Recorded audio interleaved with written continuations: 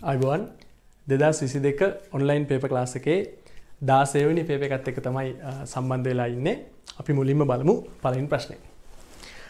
ව්‍යුත්පන්න භෞතික රාශියක ඒකකයක් නොවන්නේ.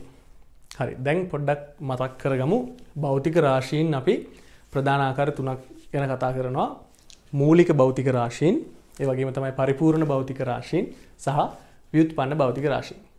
මෙතනදී මූලික භෞතික රාශීන් කියලා කියන්නේ වෙනත් භෞතික රාශියක් භාවිතා කරලා අර්ථ දක්වන්න බැරි සරලතම භෞතික රාශීන් කීපයකට තමයි අපි මූලික භෞතික රාශීන් කියලා කතා කරන්නේ.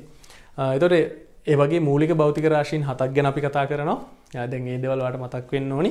ඒ වගේම තමයි මානයක් නොපවතින හැබැයි ඒකක තියෙන පරිපූර්ණ භෞතික රාශීන් දෙකක් ගැන අපි කතා කරනවා. එතකොට ඊට අමතරව අනිත් හැම දෙයක්ම ව්‍යුත්පන්න භෞතික රාශි යටතට සැලකෙනවා. හරි දැන් මෙතන තින ඒකක අපි එකින් එක බලමු පළවෙනි ඒකකේ තියෙන වොට් වොට් කියලා කියන්නේ ශ්‍රමතාවයක් මනින ඒකකයක් එතකොට ශ්‍රමතාවය කියලා කියන්නේ ව්‍යුත්පන්න භෞතික රාශිය. දෙවෙනි එකක ජූල් ජූල් කියලා කියන්නේ ශක්තිය මනින එකක ශක්තිය කියලා කියන්නෙත් ව්‍යුත්පන්න භෞතික රාශිය. තුන්වෙනි ප්‍රකාශය විදිහට තියෙන කෙල්වින් කෙල්වින් කියලා කියන්නේ තාපගතික උෂ්ණත්වය මනින ඒකකෙ. එතකොට තාපගතික උෂ්ණත්වය කියලා කියන්නේ මූලික භෞතික රාශිය. එහෙමනම් කෙල්වින් කියලා කියන්නේ ව්‍යුත්පන්න භෞතික රාශියක ඒකකයක් නෙවෙයි. අපි ඉතුරු දෙන්නත් කතා කරමු නිව්ටන් කියලා කියන්නේ බලයේ ඒකකය බලය කියලා කියන්නේ ව්‍යුත්පන්න භෞතික රාශියක්. හර්ට්ස් කියලා කියන්නේ සංඛ්‍යාතයේ ඒකකය. සංඛ්‍යාතය කියලා කියන්නේ ව්‍යුත්පන්න භෞතික රාශියක්. එහෙනම් මෙතන නිවැරදි පිළිතුර වෙන්නේ තුන්වෙනි පිළිතුර. දෙවැනි ගාන බලමු. දෙවැනි ගානේ අපිට කියනවා නිදහසේ පහළට වැටෙන වස්තුවක ප්‍රවේගය G සහ H වලට අනුලෝම සමානුපාතික වන පරිදි සිදු වෙනවා කියලා. අපිට කියනවා ප්‍රවේගය සමානුපාතික වෙන්නේ G ගේ මොකක් හරි බලයකට සහ H ගේ මොකක් හරි බලයකට. එතන PQ කියලා මම ගන්නවා. හරිනේ. එහෙමනම් මේ PQ වගයන් තමයි අපිට හොයන්න කියලා තියෙන්නේ. දැන් පොඩ්ඩක් මතක් කරගන්න මාන විශ්ලේෂණය. දැන් අපිට කියනවා මේ ප්‍රවේගය නැමැති රාශිය රඳා පවතින මෙන්න මේ රාශීන්ගේ මොනවා හරි බලවලට කියලා. එහෙම නේද? හා දැන් එහෙනම් මට මෙතනින් මෙහෙම රඳා පවතිනවා නම් මාන ඇසුරින් සලකන්න පුළුවන්. දැන් මෙන්න මෙයාගේ මාන ගත්තොත් ප්‍රවේගයනේ. ප්‍රවේගයේ මාන වල දන්නවා LT රින් එක.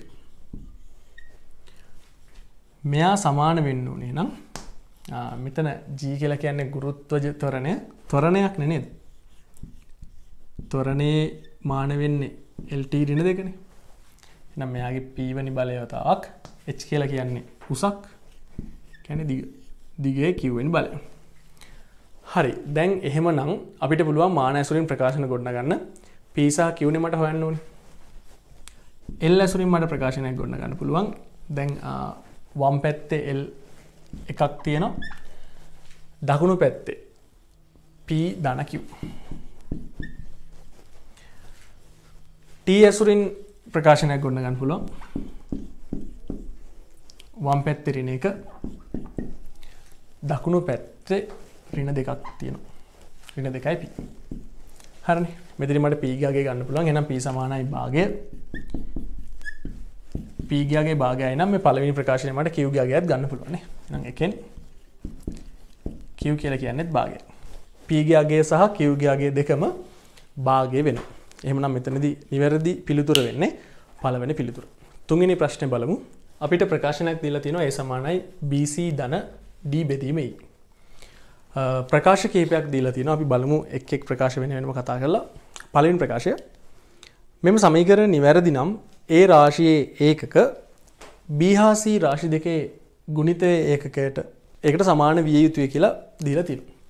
අපි දන්නවා මාන වශයෙන් සහ භෞතික විද්‍යාත්මක නිවැරදි සමීකරණයක් වෙන්න නම් දැන් මේ ලියන කට්ටියගේ මාන සහ ඒකක සමාන වෙන්න ඕන. එක නිසා ඒගේ මාන BCගේ මාන සහ ඩී බෙදීම ඒගේ මානවලට වගේම ඒකකවලටත් සමාන වෙන්න ඕන. එනම් සිම්පල් ඒ ප්‍රකාශය නිවැරදි B ප්‍රකාශය ඒ නිවැරදි නම් ඒහිමාන ඩීබෙදීම ඒහිමානවලට සමාන වෙන්න ඕන කියලා කියනවා ඒත් ඒ කතාවමයි B ප්‍රකාශයත් එහෙනම් නිවැරදි ඊට පස්සේ සී ප්‍රකාශය. මේ පද තුනේ මාන වෙන වෙනම සමාන නම් සමීකරණය නිවැරදිම විය යුතුයි කියලා කියනවා. හරි. මෙයාලගේ මාන සමාන වෙච්ච පළියට සමීකරණ නිවැරදි කියලා කියන්න බෑ. මෙයාලගේ මාන සමාන වෙච්ච පළියට සමීකරණ නිවැරදි කියලා කියන්න බෑ. මොකද මාන සමාන වුණත් සමීකරණය නිවැරදි නොවෙන්න ඕනි තරම් හේතු තියෙන පුළුවන්. හරි. උදාහරණයකට දැන් මෙතන මාන නොමැති රාශියක් තියෙන්න ඕනද නැද්ද කියන එක චෙක් කරන්න චෙක් කරන්න නැහැ. මෙතනට දෙකේ ඉලක්කමක් මෙතනට පහේ ඉලක්කමක් ඔය වගේ ඉලක්කමක් තියෙන්න ඕනද කියන එක මෙතන චෙක් වෙන්නේ නැහැ. හරි. ඊට අමතරව මාන සමාන වුණත් භෞතික විද්‍යාත්මක එක නිවැරදි නොවන ප්‍රකාශනයක් වෙන්න පුළුවන්. මාන සමාන රාශීන් දෙකක් මෙතන කියන්නේ මාන සමාන වෙනස් භෞතික රාශීන් දෙකක් මෙතන තියෙනවා වෙන්න පුළුවන්. හරි. ඒක නිසා මාන සමාන වුණු පළියට සමීකරණය අනිවාර්යයෙන්ම නිවැරදි නෑ. හැබැයි ඒක අනිත් පැත්ත. සමීකරණ නිවැරදි වෙන්න නම් මාන සමාන වෙන්න ඕනේ ඒ එකතු කරන පදවල සහ දකුණු පැත්ත සහ වම් පැත්ත කියන දෙපැත්තේ පදවල. හරි එහෙමනම් A හා B ප්‍රකාශ දෙක නිවැරදි. එහෙනම් උත්තරේ වෙන්නේ තුන්වෙනි උත්තරේ. හතරවෙනි ප්‍රශ්න බලමු.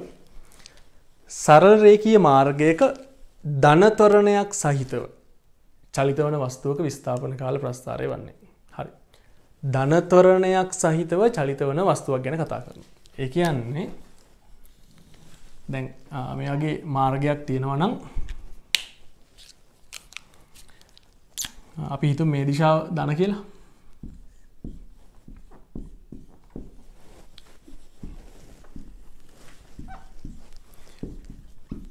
ස්ට ප්‍රස්ථාරයක් තමයි අඳින කියලා තියෙන්නේ.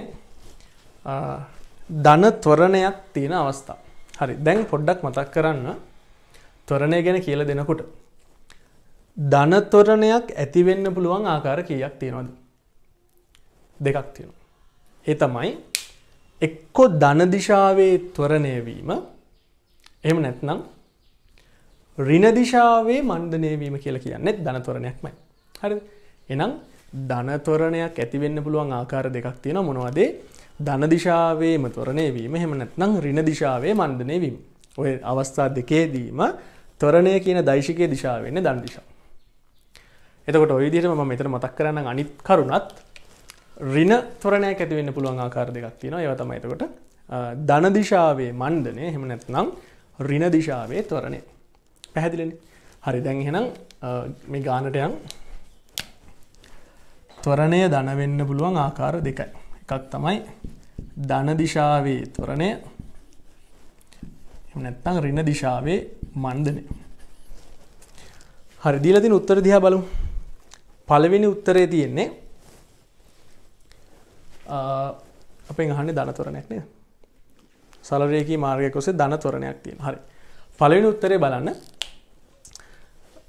අනුක්‍රමණයේ නියත ප්‍රස්ථාරයක් තමයි ඇදලා තියෙන්නේ.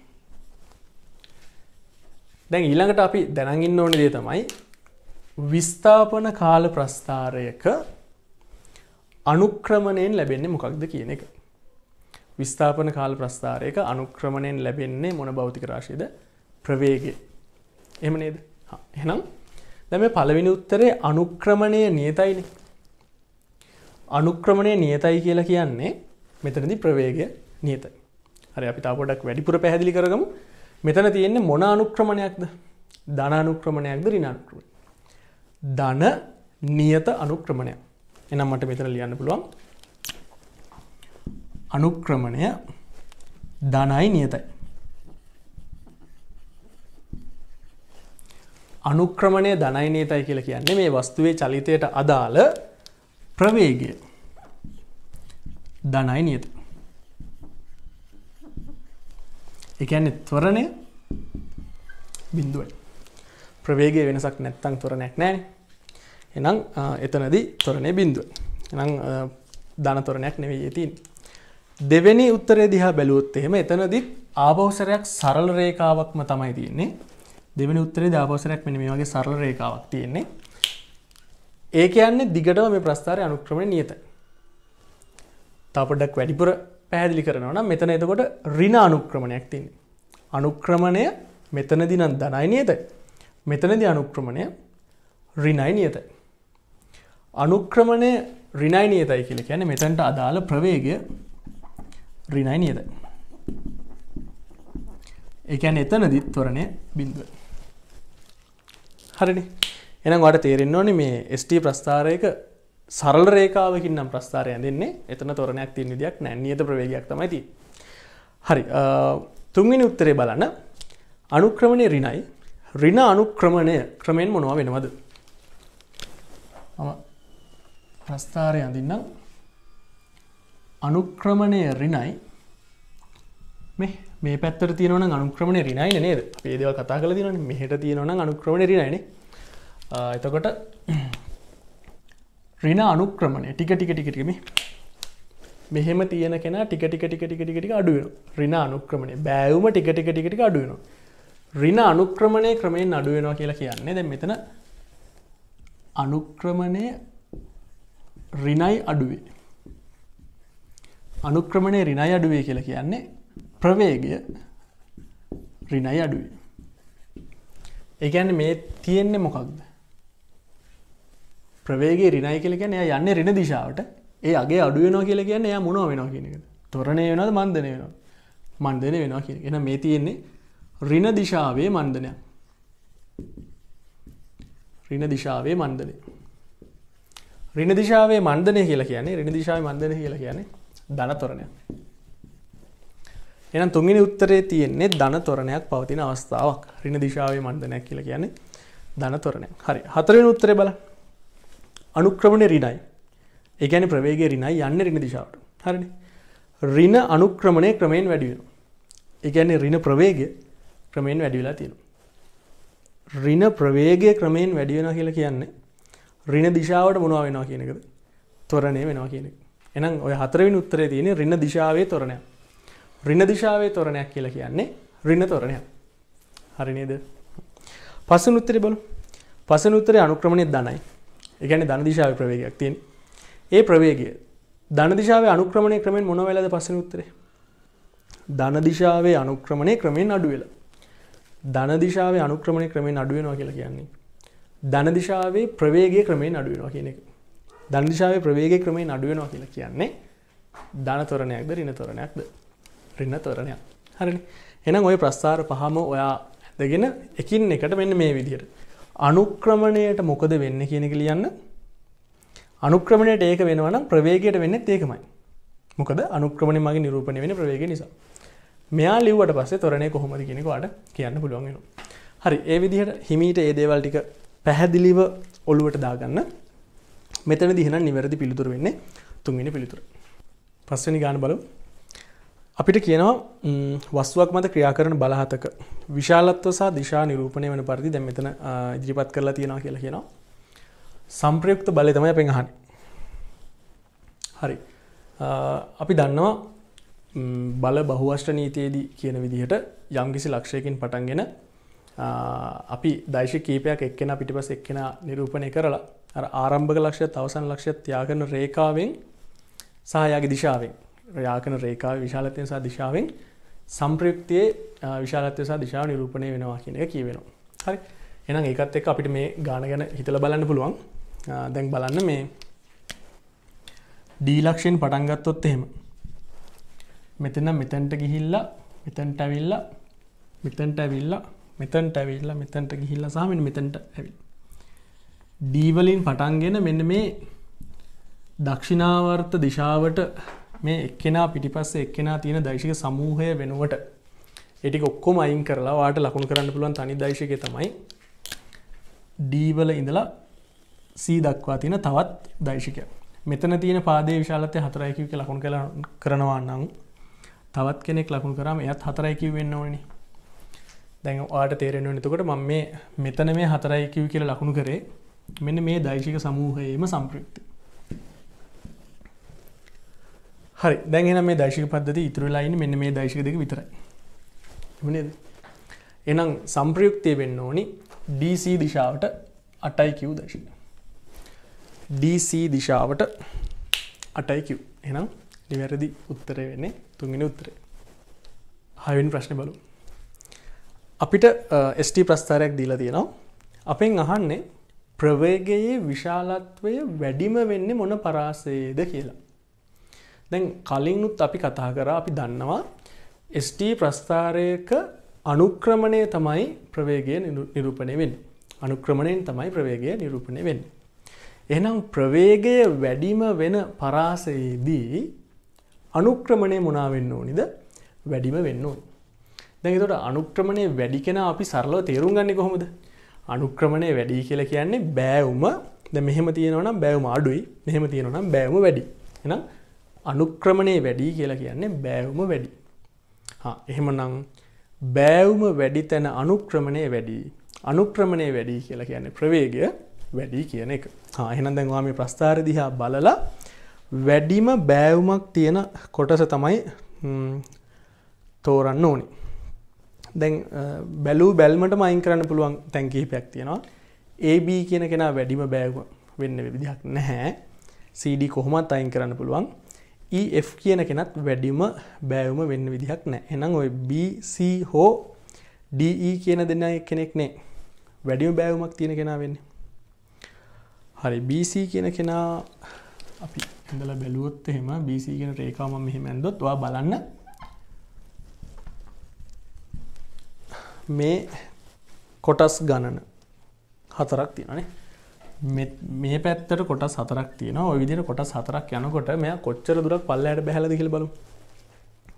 එතන තියෙනවා කොටස් 5යි පහළට 3යි කොටස් 8ක්. මේ පැත්තට කොටස් 8ක් තියෙනවා. ඔක තමයි BC. DE ගැන සලකලා බැලුවොත් එහෙම එයාගේ මෙතන කොටස් තුනයි. ඒ කොටස් තුනේදී මෙයා ඉහළට නැගලා තියෙනවා. කොටස්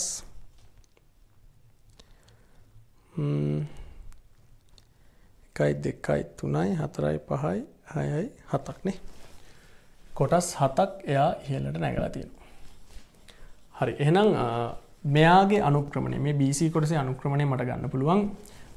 Y වෙනස වෙන්නේ 8යි x වෙනස වෙන්නේ 4යි මෙතන අනුක්‍රමණය දෙකක් විදිහට මෙතන. Y වෙනස වෙන්නේ 7යි x වෙනස වෙන්නේ 3යි. මෙතන එතකොට එනවා හත බෙදීම 3යි කියලා කියන්නේ 2යි දශම ගාණක්නේ. මෙතන මොකක් හරි 2යි දශම ගාණක් එනවා. එහෙමනම් මෙතන අනුක්‍රමණයටත් වඩා මෙතන අනුක්‍රමණය වැඩි. අනුක්‍රමණය වැඩි කියලා කියන්නේ මෙතන බෑවුම වැඩි. ඒ කියන්නේ ප්‍රවේගය වැඩි. එහෙනම් වැඩිම ප්‍රවේගයක් තියෙන්නේ D සිට E දක්වා චලිත වන විට. එනම් නිවැරදි පිළිතුර වෙන්නේ හතර වන පිළිතුර. හත්වනි ගාන බලමු. මෙතනදී අපිට ST ප්‍රස්ථාරයක් දීලා තියෙනවා. මුළු චලිතයට අදාළ සාමාන්‍ය වේගය සහ සාමාන්‍ය ප්‍රවේගය තමයි අහන්නේ. හරි. දැන් මතක් කරගන්න සාමාන්‍ය වේගය කියන්නේ මොකක්ද?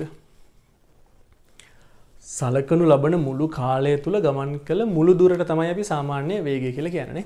එහෙනම් කැනෙ ඒකක කාලයකදී ගමන් කරන දුරකට අපි සාමාන්‍ය වේගයක් කියලා කියන්නේ. දැන් එතකොට එහෙනම් සාමාන්‍ය වේගයේ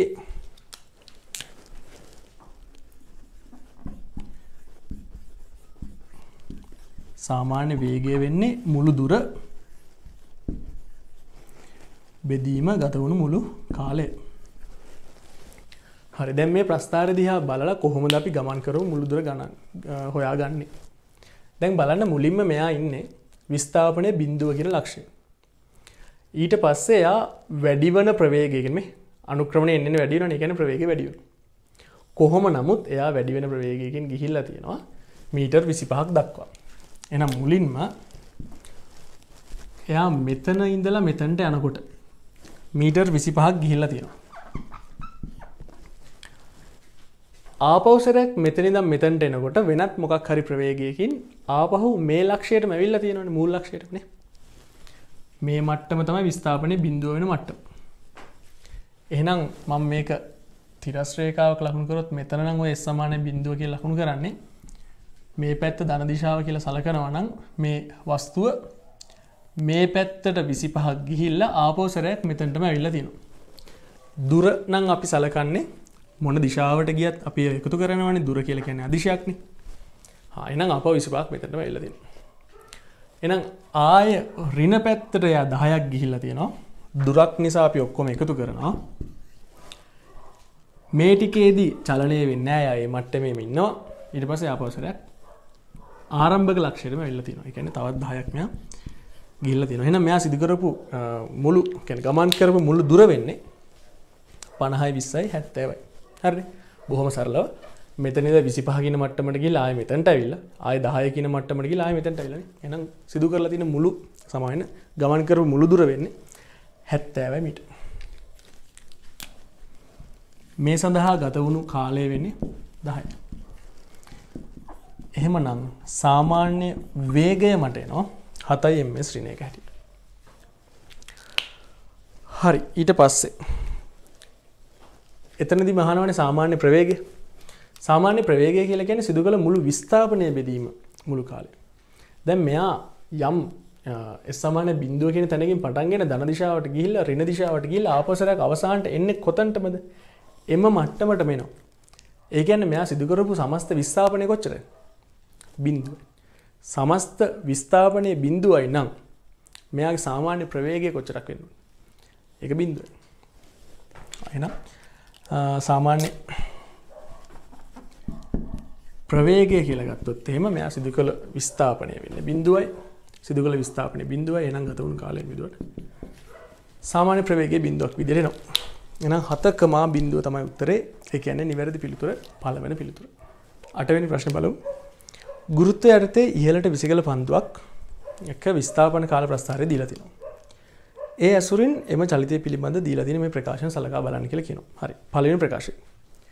පොලා පැනීමේදී බිම වදින ප්‍රවේගයෙන්ම පන්දුව ඉහළට නිකුත් වී ඇත. හරි. මෙතන මේ ප්‍රකාශය ගැන අපි කතා කරු පොලා පැනීමේදී බිමදින වේගයෙන්ම පන්දුව ඉහළට නිකුත් වී ඇත. හරි. දැන් වා හිතල බලන්න. මුලින්ම දැන් මෙතනදී සිරස් වේලට විසිකල පන්දුවක් ගැන කතා කරන්න. නම් මේ වගේ තැනකින් තමයි පටන්ගන්න ආරම්භේදී ඉහලට මෙම විසිකරු වී වේගෙන් විසිකරාම මම මේක අදින්න පහසු වෙන ටික ටික ටික ටික මෙහෙට යන විදිහට අදින්න හැබැයි මේ එක තැනම සිදුකරපු චලිතයක් ගැන තමයි කතා කරන්නේ. වී වේගෙන් විසිකරාම අපි හිතුව මෙන්න මේ වගේ උපරිම මට්ටමකට යනවා කියලා ඊට පස්සේ ආපහුසරයක් පල්ලෙහාට එන්නේ වාත ප්‍රතිරෝධය සලකන්නේ නැත්තම් වී වේගෙන්මයි. වාත ප්‍රතිරෝධය සලකන්නේ නැත්තම් ආපහුසරයක් පල්ලෙහාට එන්නේ වී වේගෙන්මයි. දැන් ඔයා හිතන්නකෝ පොලා පැනීමෙන් පසු ආපවසරයක් මෙයා වීවේගෙන්ම ඉහළට ගියා නං එහෙනම් ආපවසරයක් මෙයා මේ මට්ටමටම යන්න ඕනි නේද? එහෙම වුණානම් ආපහු මේ මට්ටමටම යන්න ඕනි නේද?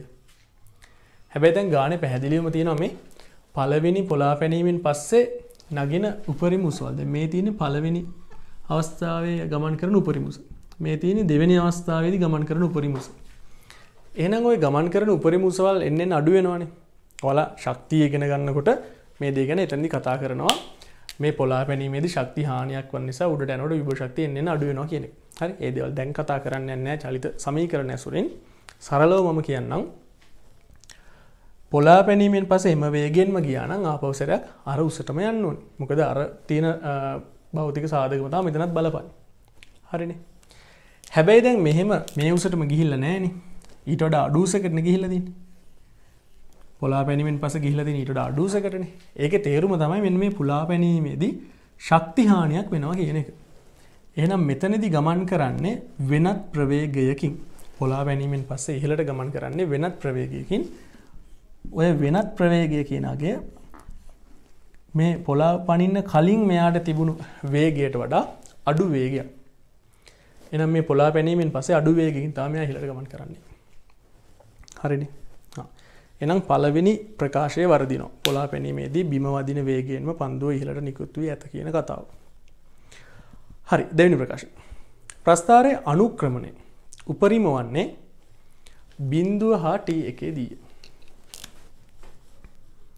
මෙතන මෙතන ටී එක මෙයාටී දෙක ඔයිදිර අපිකෝ මෙයාටීතුන් දැන් මම කිවනේ පොලා පැනීමේකදී මේ ප්‍රස්ථාරය මෙහෙම එන්න හේතුව තමයි මේ පොලා පැනීමේදී ශක්ති හානියක් වන නිසා පල්ලයට එන වේගෙන් මෙ උඩට යන්න කියලම කිවන හෙනම් දැන් දෙවෙනි පොලා පැනීම ගැන ගත්තත් වී එක ප්‍රවේගෙන් උඩට යන කෙනා යම් උපරිමුසකට ගිහිල්ලා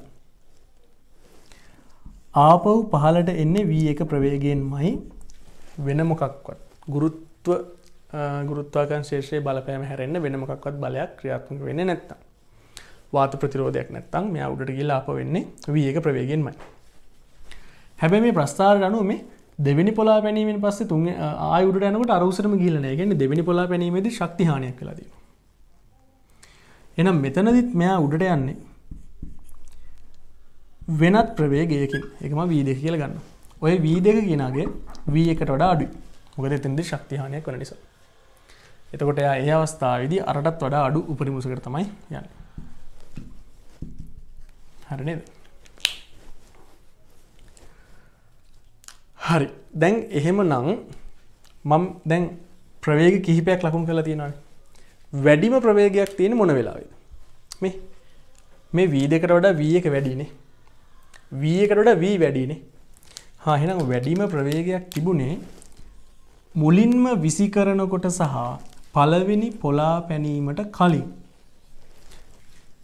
මේ ප්‍රවේග දෙක තමයි වැඩිම ප්‍රවේග. මෙතනින් උඩට යනකොටත් වීට වඩා අඩු ප්‍රවේගයක්. මේ ටිකේදීත් වීට වඩා අඩු ප්‍රවේගයක්. මෙතන තමයි v කියන ප්‍රවේගය. මේ පොලා පැනීමෙන් පස්සේ ලැබෙන v කියන ප්‍රවේගයත් වීට වඩා අඩු ප්‍රවේගයක්. එනවා තේරුම් ගන්න මම මේ හයිලයිට් කරලා තියෙන අවස්ථා දෙකේ තමයි මේ චලිතයට අදාළ වැඩිම ප්‍රවේග දෙක තිබුණේ. එතකොට විස්ථාපන කාල ප්‍රස්ථාරයක අනුක්‍රමණය කියලා කියන්නේ ප්‍රවේගයන්නේ එහෙනම් වැඩිම ප්‍රවේගයේ තියෙන මේ අවස්ථා දෙකේ තමයි වැඩිම අනුක්‍රමණය තියෙන්න ඕනි. මේ වෙලාවේ මොකක් හෝ අනුක්‍රමණයක් තියෙනවා නම් මම එක ටීට එක කියල ගන්න මේ වෙලාවිදත් එම අනුක්‍රමණයම තියෙන් ඕන. මොකද එම වේගෙන්ම මෙයා පල්ලයට එනවා කියලා සලකර නිසා. එනම් මෙ මේකත් ටීට එකම වෙන්න ඔය අවස්ථා දෙකේ මම මේ ඇදල තියන මෙන මේ ලක්ෂේ මෙන මේ ලක්ෂ අනුක්‍රමණ එතන් ස්පාර්ශකයක් ඇඳල තම ම අනුක්‍රමණ හොලති මෙතනත් එමයි මෙ මෙතැන්ට ස්පාර්ශකයක් ඇඳලා තමයි මම මේ අනුක්‍රමණය හෙව එහෙමනතු මේ ප්‍රස්ථාරය ඔස්සේ රේකාවක් ඇඳ නෙවේ පැහැදිලිද? ඕක ටිකක් ආනත කරලවගේ ඇන්දනම් වාට පැහැදිලිව මේක ලකුණු කරන්න පුළුවන්. අපි මෙ මෙහෙම ඇන්දොත්තේ පලවිනි අවස්ථාව අඳිනකට මෙ මේ වගේ අඳන්න. හරි. එතකොට මං අර ලකුණු කරලා තියෙන්නේ මෙන මේතන. මෙතන්ට ප්‍රස්ථාරයට මම ස්පර්ශකයක් අඳ මේ තින ස්පර්ශක. එනම් මේ කෝනේ ටෑන්නගේ තම අනුක්‍රමණයන්නේ මෙතන්ට ස්පර්ශකයක් අඳිනවා. තමන්ව ටීටක් කියල ගත්ත. පැහැදිලිද? මේ අවස්ථා දෙක තමයි වැඩිම අනුක්‍රමණ තියෙන්නේ. මං මෙතන කෝනේ ලකුණු කරොත් එහෙම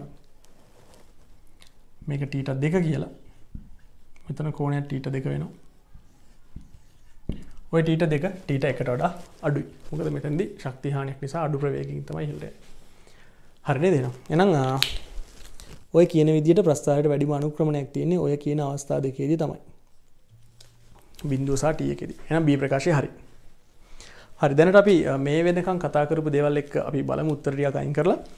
ඒ ප්‍රකාශයේදී පොලා පැනීමේදී අර එම වේගෙන්ම වදින ඉහලට යන කෙලෙකු එක වැරදි. ඒ වැරදි නම් බලන්න උත්තර කිය අයින් කරන්න පුළුවන් කියලා. පළවෙනි උත්තරය අයින් කරන්න පුළුවන්. හතරවෙනි උත්තරය අයින් කරන්න පුළුවන් සහ තුන්වෙනි උත්තරය අයින් කරන්න පුළුවන්. දැන් එහෙනම් ඉතුරු වෙලා තියෙන දෙක සහ පහ කියන උත්තර. දැන් අපි දන්නවා B ප්‍රකාශය හරි.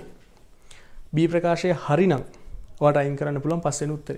එනම් අනිවාරයෙන්ම නිවැරදි පිළිතුර වෙන්න ඕනි දෙවැනි පිළිතුර කියන එකවාට සී ප්‍රකාශය කියවන්නවත් නැතුව ගන්න පුළුව හරි කෝම නමුත් පැහැදිලි කිරීමක් නිසා සී ප්‍රකාශය කියවන්නම්. චලිතයේ සිදුකර ඇති සමස්ත විස්ථාපනය ශුන්‍යවය කියල කියන ආරම්භක ලක්ෂයටම අවසානය ඇවිල්ල තියෙන නේද එනම් සමස්ත විස්ථාපනය කොච්චර බින්ද එනම් සී ප්‍රකාශත් නිවැරදි ඒක නිසා BC තමයි නිවැරදි ප්‍රකාශ උත්තරේ දෙක. නවෙන් ප්‍රශ්න බලු. එක්තර අභ්‍යවකාශ යානයක් තුළ ගුරුත්ත තොරණය පෘතිවීමෙන් හතෙන් එකක් කියල කියන. පෘතිවේදී කෙනෙක උඩ පැනීමේදී ඔහු එකයිදශම් පහ කියලයනව නම් අභ්‍යවකාශ යානය තුළ එලෙසම උඩ පැන්නොත් හෙම ඉහලයන උසමකදීල. දැන් ගුරුත්ත තොරණය අඩුවෙන තරමට ඉහලයන උස මොකද වෙන්න කියෙන අපි හිතල බල ගුරුත් තොරන අඩුව කියල කියන අපි සරල නික හිතල බලම ගන්න කිරීමකින් තොර මේ පල්ලහට ඇදගන්න ගති අඩුව කියන කරන එහෙනම් එහෙම තැනකදී අර ජවයම භාවිතා කළ උඩ පැන්නත්තෙම පොළවේදී ඉහළ යනට වැඩි උඩක් එයා ඔය කියෙන් තැන්ද ඉහළ යන්න එන උත්තරේ ඇතිශෙන් පහට වැඩි වෙන්න හරි.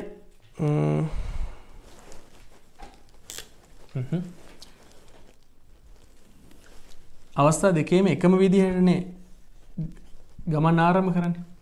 එන අවස්ථා දෙකේදීම උඩ පනින්න එකම ජපය භාවිත කළ නිසා ආරම්භක ප්‍රවේග අවස්ථා දෙකේදීම සමාන වෙන්න ඕනි. මෙතන ගුරුත්ව තොරණය ජී මෙතන දයාගේ ජීබෙදීම හත මෙතනදි මෙයා ඉහලට යනවාගලිතු මේ මට්ටමට උපරි මුස කියල කියන ප්‍රවේග බින්දුවක් වෙද නේද? උපරි මුසදි ප්‍රවේග බින්දුව එක නිසානක උපරි මුස කියලක එන මෙයා යනුස මේ වගේ තනක් වෙන්න ඇති මෙතැදි ත්‍යයාග ප්‍රවේග බින්දුව මෙතනදී පලවෙනි අවස්ථාව ධ්‍යන ප්‍රමාණය එකයිදශම් පහි කලකි වනේ මෙතනද එකයිදශම් පහයි මීට ප්‍රමාණයක් යනවා. මෙතනද යන ප්‍රමාණය මොකක්ද කියල තම යහන්න අපේ. මයික එච් කියල ගන්න අපි දැන් ගණන් හදවට පලවිනිම දේ තමයි අපිට ගාන හරියට තේරෙන්නවා නිකං සමීකරනවට දත්තා ආදේශ කර කර කරන්න යනට වඩා ගානෙ කියන්න මොකක්ද? මේක මැවෙන්නුවන් ඒ මැවෙන තරමට මේ ගණන් හදන ලේසි. හරි දැගෙන ඔන්න අවස්ථා දෙකට අදාළ දත්රීමන් දාගෙන තියෙනවා. අපි චලි සමීකරනයක් තෝරගන්නකට බලන්නවන වඩා සුදුසු සමීකරන මොකක්ද කියන ද විස්ථාපනය සම්බන්ධ වෙන්න ඕනි ආරම්භක ප්‍රවේග අවසන් ප්‍රවේග. හිටියට ප්‍රශ්නයක් නෑ ඒවා පිළිබඳ දත්වයන් මම දන්න තොරණය හිටියට ප්‍රශ්නයක් නෑ එයා පිළිබඳ දත්වයක් මම දන්නවා. අරයසාමයාගේ තොරණ අතර අනුපාතයක්මන් දන්න විස්ථාපන ඉන්න එපැයි. මොකද විස්ථාපනයක්න හොයන්න තින් ඇනම් කවුද මෙතනදි කතා නොකරපු අනිත්‍රාශය කාලය. එනම් කාලේ නැති සමීකරණයක් භාවිතා කරන්නම් මේ ගාන හද කාලේ නැති චලිත සමීකරණය. වී වර්ග සමාන යු වර්ග දන්න දෙකයිස් හරි මේ සමීකරණය මං පලවෙනි කෙනාට යදුව. හරි මුලින්ම එක ක්‍රමයකට මේ හදන්න පස්ස තව දිර පැදිලි කරන්න දැන්ට මේ දිරපි සමීකරණය හද පලවෙනි අවස්ථාවට මේ සමීකරණයට දත්තා ආදේශ කරනකොට. යගේ අවසම් ප්‍රවේග බින්දුවයි ආරම්භ ප්‍රවේග යු එන යුවර්ග යන්න ඉහලට මන්දනයක් නිසා මෙතනරෙන දෙවතාවක් ජීවතාවක් එකයි දශම පහයි. මම දැනට එක එක කියලා ගන්න මෙයාමං එස් දෙක කියල දන්න හරි නේද? එන මෙතරිමට ලියන්න බල යුවර්ග සමානයනවා දෙකක් ජීවතාවක් එච් එක කියලා. හරි.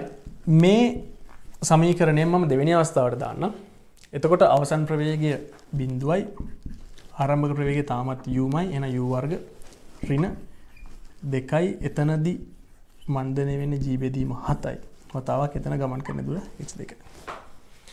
එනම් මෙතනද ලිය වෙන්නේ යුවර්ග සමානයි දෙකක් ජීබෙදීම හත වතාවක් එච් දෙක හැටියට. මේක පලවෙනි සමීකරණය කියල ගන්න මේක දෙවිනි සමීකරණය කියල ගන්න එමනංව සමීකරණ දෙකමට බෙදන්න පුළුව බෙදීම දෙක. එතකොට එම නැත්තං වම් පැත්ත සමාන නිසා එක සමානය දෙක වෙන්න එම ගන්න එතකොට මට ලියන්න පුල දෙකයි ජී එච් එක සමානය නෝ දෙකයි ජී බෙදීම හත වතාවක් එච් දෙක. මෙතනින් මට දෙකයි ජීට දෙකයිජී සුළු වනාම එච් දෙකේ අගේ නවා හතයි එච් එක හැටියට. එච් එක හැටිය මම ගත්තේ එකයි දශම් පානනේද එකයි දශම් පහව හතක් කියලගෙන දහය දශම් පහයි. මේ විදිට අඩු උත්තරේ ගන්න පුළුව හැබැයි පුළුවන් තරම් MCQ කරනකොට මේ විදිහට ප්‍රකාශන අරගෙන එක දෙක කියලා දාලා ඒව බෙද බෙද මේ විදිහට සුළු කිරීම් වලට වහල්ලෙන් හදන්න එපා. මොකද ඒක ඔයාගේ ස්පීඩ් එකට බාධාවක්. පුළුවන් තරම් හිතන්න ඕනි. අවම පීවර සංඛ්‍යාවකින් කැනම්සක පේපයක් කරනට පුළුවන් තරම් අඩු පීවර සංඛ්‍යාවක් කියලා පුළුවන් තරම් අඩුවෙන් ලියලා වැඩියෙන් හිතලා ගාන කරන්න තමයි පුරුදු වෙන්න ඕනි. ඒක ප්‍රක්ටිස් කරවන එක තමයි මගේ වගේ මෙතොට ම මේ සඳහා දැන් පලවිනිට ම මේ සමීකනලින් හදල ඉවරයි දැන් ගාන. මීටට සරලව කෝමද හිතන්න කියනක ආයසයක් පැහැදිලි කරන්න. හරි. ඒ සඳහා සමානුපාතික් ක්‍රමය භාවිතා කරන්න ඕන. ඒ සඳහා වාට පුළුවන් සමානුපාතික් ක්‍රමය භාවිතා කරන්න. අවස්ථා දෙකක් සංසන්ධනය කරන ගොඩක් තැන්වලදි සමානුපාතික් ක්‍රමය ඔයාගේ ස්පීඩ් එක හදන්න ගොඩක් වටින ක්‍රමයක් වෙන හරි. දැන් මෙතන මේ අවස්ථා දෙක සංසන්ධනය කරන්න තියෙන්නේ. ඔය අවස්ථා දෙක සංසන්ධනය කරන්නම භාවිතා කරන්න මේ ප්‍රකාශනයනේ. ඔය ප්‍රකාශනය තවපොඩක් මට ඔය අවස්ථා දෙකටම දැම එක පාරම අවස්ථා දෙක ගැන හිතන්න. අවස්ථා දෙකේදීම අවසන් ප්‍රවේග බිඳුවයි නම් අවස්ථා දෙකේදී මට ලියන්න පුලුවන් ප්‍රකාශනය වෙන්නේ යවර්ග සමානයි දෙකක් ඒස් කියන ප්‍රකාශනය.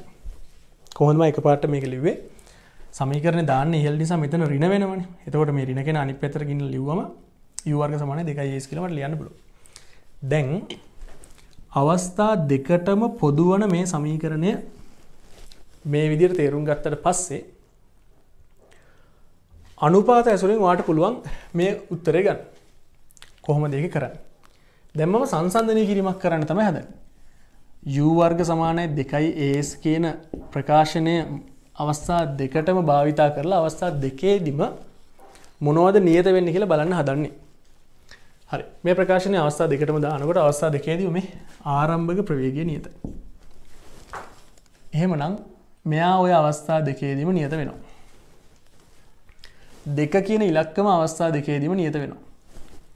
මං මේ හොයන්න උත්සා කරන්නේ විස්ථාපනය ඇත්තටම කවුරු මතද රඳා පවතින කියන එක. ඔය අවස්ථා දෙක සංසන්ධනය කරදදි ඔය අවස්ථා දෙකේද සිදුකරපු විස්ථාපන කවුරු මතද රඳා පවතින කියන එකයි මේ හොයන් හදන්න. ආරම්භ ප්‍රවේග දෙන්නගම එකම හිනිසා යාමත මේ විස්ථාපන වෙනස් වුන වෙන්න බෑ ආරම්භ ප්‍රවේග දෙන්නගම එක නිසා නීත දෙකකින් ඉලක්කම අවස්ථා දෙකේද එකමයි නිසා ඒක මත මුකුත් උනා වෙන්න බෑ. මේ විස්ථාපන වෙනස්සෙන් හේතු තම තොරණය වෙනස්සී. මෙයාල දෙන්නම නියතයි නම් ඕකේ අදහස මෙන මේක නේද? බල මේ දෙක ඉලක්වත් මට ඕන මෙහෙන්ගෙන ලියලා. ඒස් ගුණිතය නීතයක් කියනක නේදෝක අදහස්? මේසා මේ කටේ නීතයින ඒස් ගුණිත නීතයක් කියන අදහස්. එහෙනම් ඕකමට තව පොඩ්ඩක් හිතල ලියන්න බල ඔය කියන්නේ ම මෙහමතුත් ඔතනින් මං එස් උක්තකරොත් එස් කියල කියන කේ බෙදීම ඒ වෙනවා නතකොට ද මෙදල් හිතින් කරන්න. හරි මේ කරන්න මේක කියන එකයි පැදිලි කර ඒස් ගුණිතය නියතයක් නම් ඒක අදහස තමයි එස් සමානුපාතික වෙනවා. එකට ඒ කියන එක. ඒස් ගුණිතය නියතයක් කියන එක අදහස් තමයි එස් සමානුපාතික එකට කියකින් දැමෙන මේටික ම වාඩිකම් පැහැදිලි කරේ. ඕක අපි ගණහට නික ලියන්නවත් ඔන්න මෙතරින් එක තේරුම් ගන්න පුළුවන්ගන්නවා යවර්ග සමානය දෙකයි ඒ සේනම් යවර්ග සහ දෙක කියන නීතයින වට ඒස් ගුණිත නීතයක් ඒකන සමානුපාතය එකට යෝක එක පාට ලියගන්න පුළුවන් බොහොම පොඩිද හරි දැන් එහෙනම් තොරණ අතර අනුපාතය. අවස්ථා දෙකේ තොරණ අතර අනුපාත පළවෙනි අවස්ථාවේ තොරණේ ජී දෙවැනි අවස්ථාව තොරණ ජී බෙදීම හතයි. එනම් අනුපාතය එකට එක බෙදීම හතයින ඒ කියන්නේ හතට එකයි. හාහිනම් තොරණ අතර අනුපාතය හතට එකයි. ත්වරණ අතර අනුපාතය හතට එකයි නම්. මේකෙන් කියවෙන්නේ මේකෙන් කියවෙන්නේ ත්වරණ අතර යම්කිසි අනුපාතයක් තියෙනවාද ඒක ප්‍රතිලෝමෝ තමයි මෙයාට බලපාන්නේ. එනම් ත්වරණ අතර අනුපාතය හතට එකයි නම් විස්ථාපන අතර අනුපාතය එකට හතක් වෙන්න ඕනි. ඕක තමයි මෙන්න මේකෙන් කියවෙන්නවා එක තේරුම් ගන්න ඕනි. මෙතන අනුලෝම සමානුපාතිකත්වයක් තිබුණ නම් තොරණතර අනුපාතයමයි විස්ථාපනතර අනුපාතය. මෙතන තින ප්‍රතිලෝම සමානුපාතිකත්වයක් නිසා තොරණතර අනුපාතය හතට එකයි නම් විස්ථාපනතර අනුපාතය එකට හත.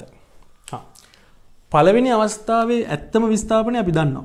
එකයි දශම් පහයි මීට එනම් මේ එකක් කියල කියන එක දශම් පහයි මීට එනම් හතක් කියලගෙන කොච්චර එකක් කියන එක දශම් පහක් නම් හතක් කියලගෙන් දහය දශම පහයි මීට වෙන දැන් ඔයා කලින් සුළු කරලා උත්තරේ ගත්තට සාපේක්ෂව දැන් මේ විදිහට කරනවා නම් කොච්චර ලේසිදි කියන එක ඔයාම සංසන්ධනය කරලා හිතල බලන්න දහනි ගාන බලු.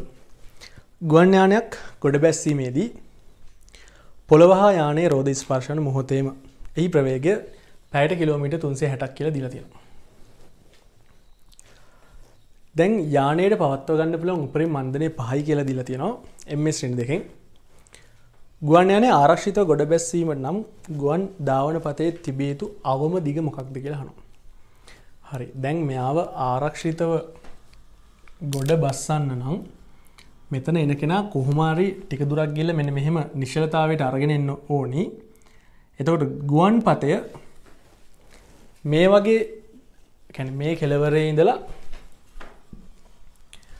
මෙතැන්ටම දිගනම් කිසිම ප්‍රශ්නයක් නෑන මෙතැන්ට දිගන ඒත් ප්‍රශ්නයක් නෑන එන මෙතැන්ට දිගනම් ඒත් ප්‍රශ්නයක් නෑ. මෙන මේ විදිර ගුවන් පතේ ම දිග ටිකටි අඩු කරන්න එනකොට මෙහෙම තැනකට තියෙනන ඒත් ප්‍රශ්නයක් නෑ. මෙන්න මෙතැන්ටම එනකම්. එන ගුවන් පතේ දිග මේ කෙලවරන්න මෙන්න මේ ලක්ෂයට නං තාම ප්‍රශ්නයක් නෑ. යන්තමින් මේ ගුවන්්‍යානය ගුවන් පතේ තුළ නවත්ව ගන්න පුළු හැබැයි මීට වඩා ගුවන් පතේ දිග මොනව වෙන්න බැරිද? මීට වඩා ගුවන් පත දිග මොනවවෙන්න බැරිද? අඩු වෙන්න බෑ. එනම් ගුවන් පතයට තියෙන්න පුළුවන් අවම දිග වෙන්නේ මේ ගුවන් යානයට නතර කරගන්න පුළුවන් අවම දිග. මේ ගුවන් යානයට මේ යානය නතර කරගන්න අවම වශයෙන් මීට පන්සියක් යන්න වෙනවනම් ගුවන් පතයත් අවම වශයෙන් මීට පන්සියක්වත් තියෙන්නු පැදිලි එන එහෙම දෙයක්වා මිතනහන්නේ එන ගුවන්්‍යානය නතර කරගන්න පුළුවන් අවම දිග මොකක්ද කියනකයි මෙතන හන්න දැන්හෙනම් අපි හොයමු. ගුවන්්‍යානය නතර කරගන්න පුළුවන් අවම දිග වෙන්න මොකක්ද කියන එක. එතකොට මෙයා අවම දිගක් තුළ අවම දිගක් තුළ නතර කරන්න නම් මෙයා මන්දනය වෙන්න ඕනි මොන මන්දනයට උපරිම් මන්දනයෙන් මෙයා මන්දනය වෙන්නුන් එයාට පුළුවන් උපරිම මන්දනය භාවිත කල උත්සාහ කරන්න ඕනි. තකොට තමයි අවමදික කියන අපිට ලැබෙන්නේ. හරි. ඔය දේවල්ටික තමයින ගාන හදන කලින්වා තේරුම් ගන්න දැගෙන අපි හොයන්නන මෙ මේ ගුවන්්‍යානය ඔය උපරිම මණ්ඩනය යටතේ එයා නතර කරන්න කොච්චර දුරක් එය යනවද කියන උපරිම මන්දනය යටතේ යා නතර කරන්න කොච්චර දුරක් එයා යනවද කියනක තම හොන්ඩු හරි. ආරම්භ ප්‍රවේග ගාන දීලති අවසන් ප්‍රවේගේ බිඳුවෙන් නිශ්ල කරනවා කියලා කිය තොරණය දීලා තින විස්ථාපනය තමයි හොයන්න ඕනි. එනම් කවුද කතා නොකරු පනිත්‍රාශය කාලය. එනම් කාලේ නොමැති සමීකරණයෙන් තමයි මම මේ ගාන හදන් වී වර්ග සමාන යු වර්ග දන දෙකයිස් සමීකරණය දාන්නම් මේ දිශාවට ගුවන්්‍යානයට හරි. දැන් මෙන මෙයාව එම ශ්‍රීණයකට ඉස්සල හරවගෙන ඉන්නම්. පැයට කිලෝමීට අගයක් තප්පරයට මීට කරන්න නම් අපි මෙයා වැඩි කරන්න ඕනි පහබෙදීම දහරකිනගේ තිස්සයිට දහටයවත් දෙකයි. හෙනම් විශ්වතාවක් පහ කියලකැන සීය. එනම් තප්පරයට මීටර් වලින් මේ තියන්නේ සීයයි එමස් එක. හරි නේද? දැගෙනම් අවසන් ප්‍රවේග බින්දුවයි ආරම්භක ප්‍රවේග සීය වර්ග රින මන්දනයක් නිසාරින දෙවතාවක් මන්දනය උපරිම ශලත පහයි වතාවක් එස් හරි එනම් මෙතන මට ස්ගයාගේ ගන්න පුළු දහක් විදිරට එන මේ ගුවන්්‍යානය නතර කරන්න අඩුම තරම දාහකය යන මීටඩ අඩුමන්දනයක් නං එයා භාවිතා කරන්නේ දාහට වඩා යනවා. හරි එනම් අඩුම තරමයා දාහකයක් එනම් ඒ දාහවත් අර ගුවන් පතේ තියෙන්නවා එන ගුවන් පතයට තිබියයුතු අවමදික වෙන්නේ කිලෝමිට එකයි. උත්තරේ තුන. එකළු සිනි ගාන් බලු විස්සමීට උස කණ්ඩියක අද්දර සිට සිරස්ස පහට ගලක් මුදාහරණ කළ කෙන. ඉට පස්සේ එයා මුදාහරල තප්පරයකට පස්සේ තවත් ගලක් පහට ප්‍රක්ෂේපණය කරනවා කියල කිය. ගල් දෙකම එකම අවස්ථාවලු පොළොවේ ගැටෙන්නේ. මෙයාල දෙන්න එකම අවස්ථාවලු පොළොවේ ගැටෙන්නේ.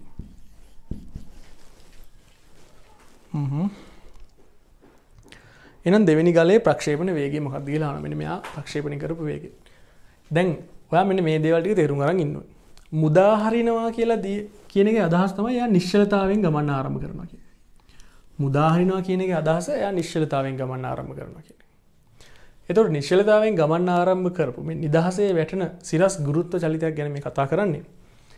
නිශ්චලතාවෙන් පටන්ගෙන මීටර් විස්සක් යන්න. එයට කොච්චර තපර ගාන කැනව දැන්වාට නිකං හිතලම කියන්න පුළුවන් වෙන්නනි මේක. පලවෙනි තපරදි කොච්චර දුරක් යනොත් මීටර් පහක් යනවා. දෙවැනි තපරදි කොච්චර කැනොත් මීට පහලක් යනවා. එනම් තප්පර දෙකක් යනවායට මීට රිස්සක් පල්ලට එනවා පලවිනිට තේරුම් ගන්න ඕනි. මෙන මේ පලවෙනි කෙනාට මේ පලවෙනි කෙනාගේ චලිත කාලය වෙන්නේ තප්පර දෙක. පලවෙනි කෙනගේ චලිත කාලය වෙන්න තප්පර දෙක. අපිට කියනවනේ එයා මුදාහැරලා තප්පරයකට පස්ස තමයි මෙයා මුදාහැරී කියලා. එනම් මෙයාගේ චලිත කාලය කොච්චරක් වෙන්නුට ඒක එක තප්පරය මෙයාගේ චලිත කාලය නම් තප්පර එක. හරි. ඔය විදිහට වා ඒක තේරුම් ගන්න ඕනි. හරි. දැන් එහෙමනම් මෙයාගේ චලිත කාලය දන්නවා. මෙයා පල්ලෙහාට යන්නේ මොන තොරණයෙන්ද කියන එක අපි දන්නවා. ගුරුත්ව තොරණෙන් යන්නේ. එතකොට මෙයා යන්න කොච්චර දුරක් යන්න තියෙනවද කියන්න දන්නවා. අපි දන්නේ නැත්තේ මොකක්ද? මෙයා ගිහලා වදින ප්‍රවේගය දන්නේ නැහැ. මම මේක u කියලා ගන්නම්කෝ ඔන්න මෙයා ගිහලා වදින ප්‍රවේගය දන්නේ නැහැ. එහෙනම් එයා නැති සමීකරණයෙන් තමයි මම මේ ගාන හදන්නේ. අවසන් ප්‍රවේගය නැති සමීකරණය. මොකක්ද? S සමානයි ut දන බාය කෙටි වර්ගය දැන් මම මෙයාගේ ත්වරණය දන්නවා කාලය දන්නවා සිදු කරන විස්ථාපනය දන්න මට හොයන්න ආරම්භ ප්‍රවේග විතර. එන මට මේ සමීකරණය යාගේ ගන්න පුළුව හරි. මෙයා පහලට විස්සයි මීට දුරක් යනවා. ආරම්භක ප්‍රවේග තම හොයන්න ඕන්. එයා යන්න ගතවන කාලය තප්පර එකයි. සමීකරණය දාන්න පල්ලයාට තොරණය තියනෙත් පහල් නිසා මෙතන දන්න භාගය වතාවක් ගුරුත්ත තොරණය දහයක් හැඩ ගන්න කාලය දප්පර එක එකේ වර්ගේ හරි මෙතන සුළු කරම් පහක් වෙනවා ඒක අනිත් පැත්තට ගෙනිච්චම 15ක් එහෙනම් මෙයාගේ ආරම්භක ප්‍රවේගය වෙන්නේ 15යි ms ශ්‍රේණියක. ඒ කියන්නේ උත්තරේ දෙක. 12 වෙනි ගාන බලමු. 12 වෙනි ගානේ අපිට කියනවා 5යි නිව්ටන් සහ 13යි නිව්ටන් බල දෙකක සම්ප්‍රයුක්තිය 5යි නිව්ටන්ට ලම්බයි. මෙයාගේ ආනත දෛශික දෙකක සම්ප්‍රයුක්තිය 5යි නිව්ටන් කියන දෛශිකයට ලම්බ කයිලු එන මෙන මේ පැත්තර තමයි සම්ප්‍රක්ති තිය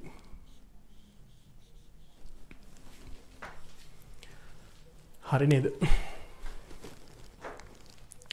බල දෙකෙහි සම්ප්‍රයුක්ත බලය විශාලත්වය තමයි පෙන්හන් හරිනේ. මේක හදන්න ආකාර කීපයක්ම තින ම පලනි ආකාර විදිර තෝරගන්න මෙන මේ කතාව. හ මොකක්ද? දැන් මෙතන මේ දශය දෙකක් තියනවනේ. මේ තින පලින් දශය මෙති දෙවින් දශය කියලකම්. යම් කිසි දෛශික පද්ධතියක හරි? යම් කිසි දෛශික පද්ධතියක සම්ප්‍රයුක්ති අපි හොයනකොට අපි මොකක්ද කරන්න? දෛශික පද්ධති මෙහෙම තියෙන අපි මෙයාගේ සම්ප්‍රයුක්ති හොයනකට කරන්නේ එකිනෙකට ලම්බක සංරචය දෙකකට. අර දෛශිකවල සංරචකල වීජය එක් අරගෙන මෙන්න මෙහෙම එකිනෙකට ලම්බක විබේධන සංරච දෙකට අරගෙනනවා ඊට පස්සේ තමයි සම්ප්‍රක්ත හොයන් දොට සම්ප්‍රක්ත විශාලත්ය අපි ගන්න කොහොමද? ඔය එක් වර්ග දන වයිවර්ගේ වර්ගමුලි හරිනේද දැන් ඉතන්න කොක සුළු කරාට පස්සේ හරි? ඕක සුළු කරාට පස්සේ මට හොයාගන්න පුළුවන්ගෙනවා සම්ප්‍රයුක්තිය. ඕක සුළු කරාට පස්සේ මට හොයාගන්න පුළුවන්ගෙන සම්ප්‍රයුක්තිය තියන්නේ සිරස්ව මයි කිය ගානකද අපි සුළු කරට පස මේ හවාගන්න පුළුවන්ගෙන සම්ප්‍රයුක්ති තියෙන සිරස්ව ඉහලට මයි කියනෙක එහෙම වෙන්න නං එහෙම වෙන්න නං මෙන්න මේ වයි සංරචක එම නැත්නම් සමායන එක. එක් සංරචක එක ඇන්නේ තිරස් සංරචකල වීජයික බින්දුවට සමාන වෙන්න ඕන්න මේ වගේ විබේදන සංරචක වීජයික අරගෙන සම්ප්‍රක්ත හෙවම සම්ප්‍රක්ති සිරසර තියෙනවා කියන අදහස තමයි. තිරස් සංරචකල වීජයක බිඳුව කියන එක.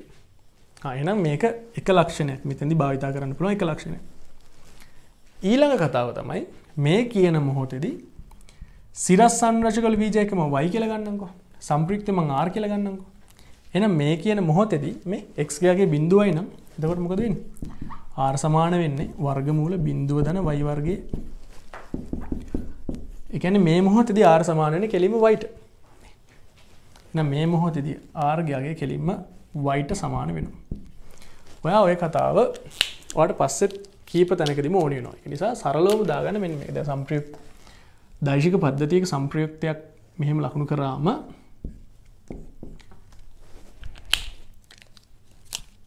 විබේදන සංරචක වල වීජයක දෙකක් ම මෙහෙම ගත්තම ඔයාට සම්ප්‍රයුක්තිය එන්න මේ පැත්තටම නම්.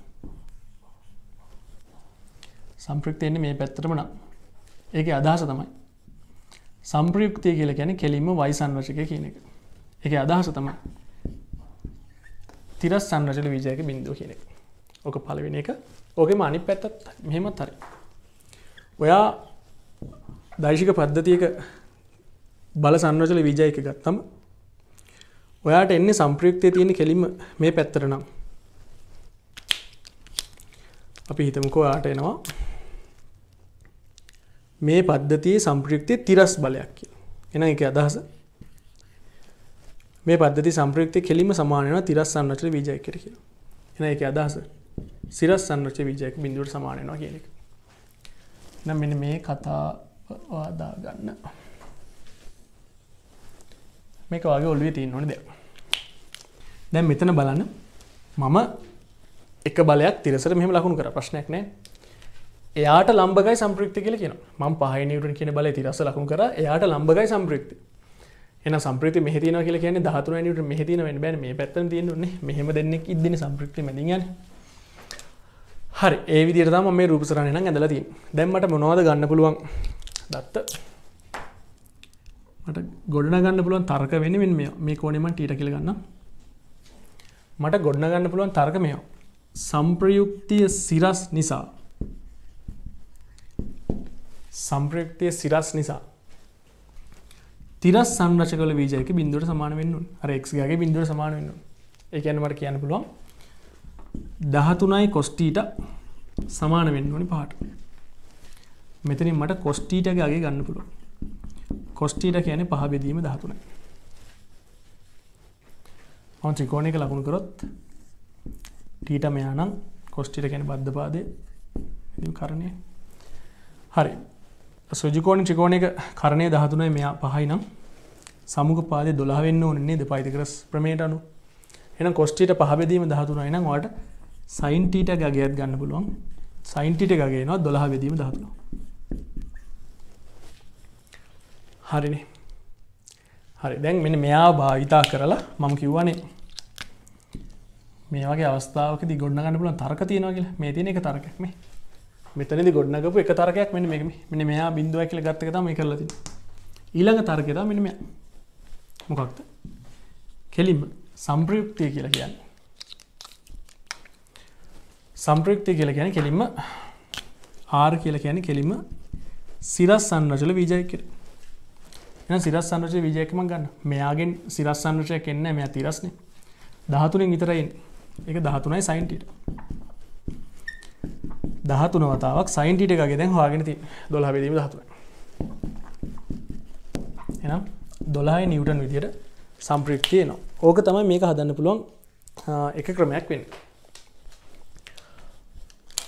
සම්ප්‍රික් දොලාහිනිට විදිර මෙන්න මේ මම කිව්ව ක්‍රමයට හදන්න පුළුව එහෙම නැත්තම් මන් තවත් ක්‍රමයක් කියන්න අපි මේ දයිශක තීරතැන් පොඩක් එහිරමට කරු පහයි නිවටන් දයිශක මෙහෙම තියෙනවා. යා ඉවරණ තැනින්මන් දහතුනයි නිවට නදින්න හරි?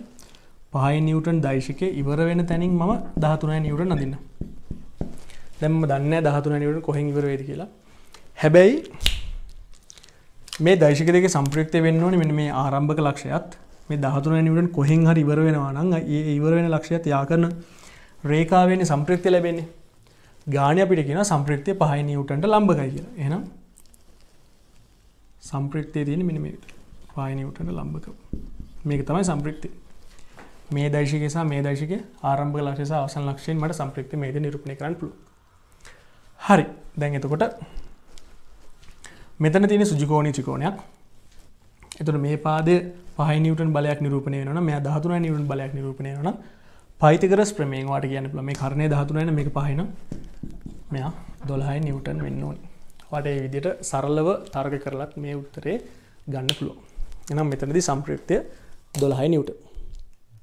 දහතුන්ගෙන ගාන බලු දහතුන්ගෙන ගාන එච් එක සහ එච් දෙක උසවල් වලින් එම් එක සහ එම් දෙක කියලා ස්කන්ධ දෙකක් තියෙනවා. මෙයාලා පොළවට වැටෙන්න්න ගතවන කාලාතර අනුපාතය තමයි යහන්නේ පලවිනිම දේ තමයි මේ ගුරුත්ත චලිතයේද අපි ඉගෙන ගන්නවා. මේ ගුරුත්ත චලිතය මේ ස්කන්දය මත රදා පවතින්න නැහැ.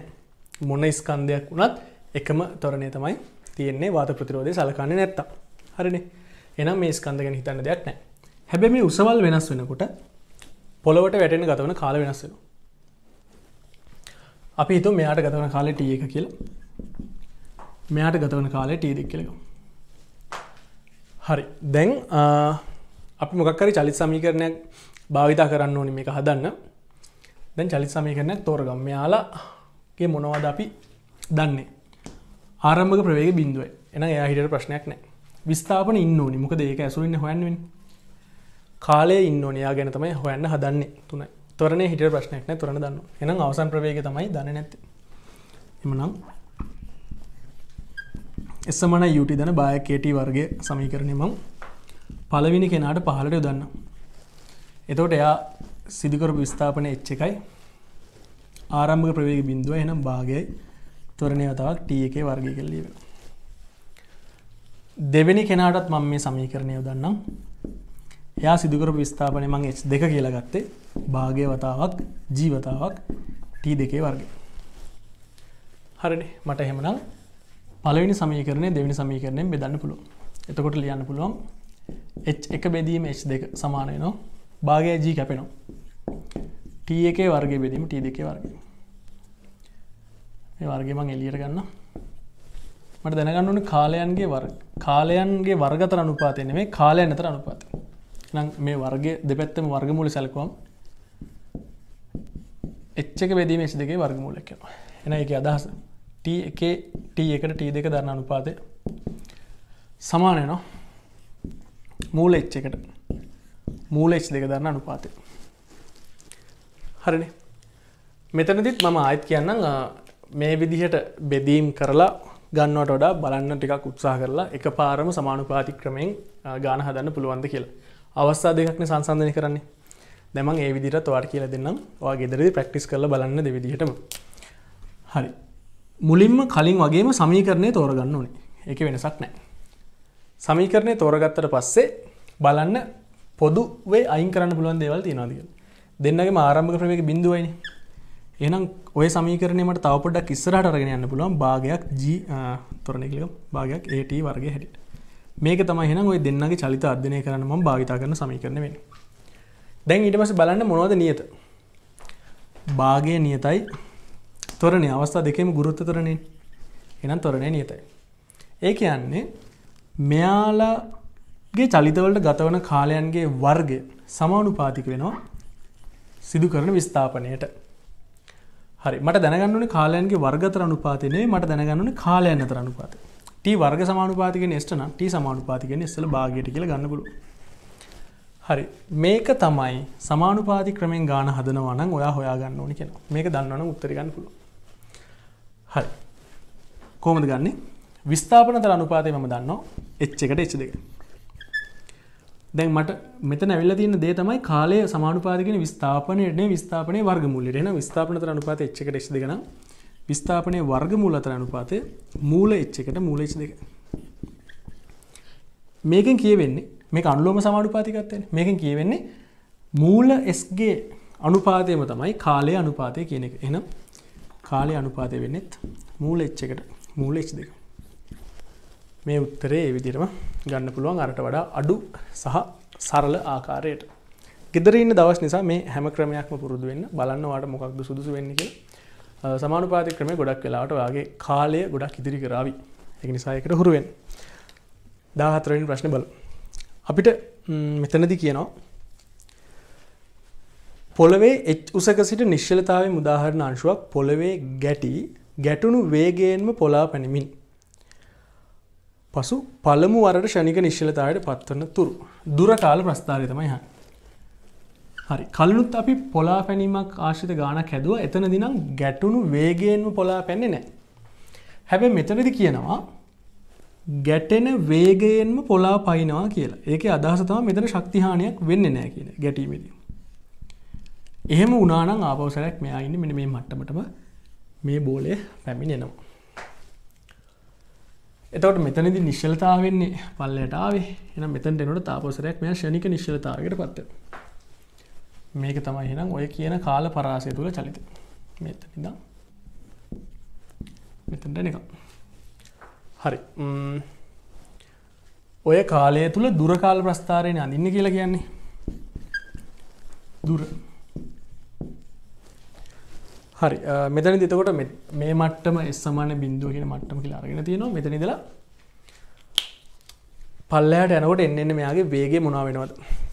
පල්ලයට යන්න ගුරුත්ත තොරණයෙන් නේද? එකන ප්‍රවේගෙන් එන්න වැඩි වෙනවා. මේ දුරකාල ප්‍රස්ථාරය අනුක්‍රමණය කවුද?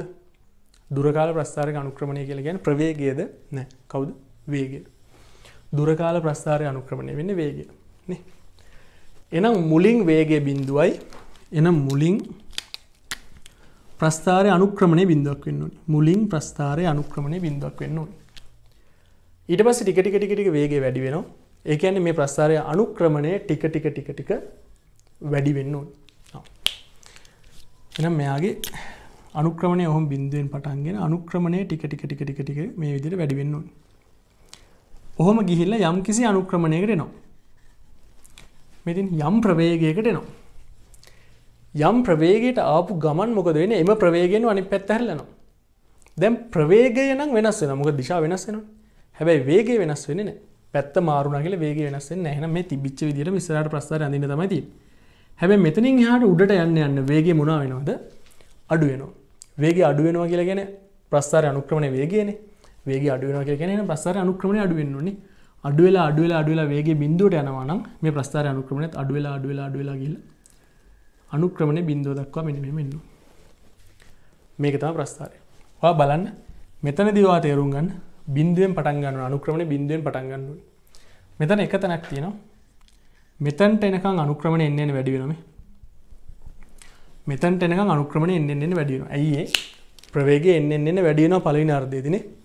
දෙවෙනි අර්ධයේදී ප්‍රවේගය එන්න එන්න අඩු වෙනවා. ප්‍රවේගය එන්න එන්න වැඩි වෙන අර්ධයේදී අනුක්‍රමණය එන්න එන්න වැඩි වෙනවා. ප්‍රවේගය එන්න එන්න අඩු වන අර්ධයේදී අනුක්‍රමණය එන්න එන්න අඩු වෙනවා. හරි. එහෙනම් මේක තමයි නිවැරදි ප්‍රස්ථාරය වෙන්නේ. ඒ කියන්නේ උත්තරේ 4. 15 වෙනි ගාන බලමු. නියත වේගයකින් වෘත්තාකාරව චලිත වන තැටියේ පරිදිය මත පිරි ලක්ෂ.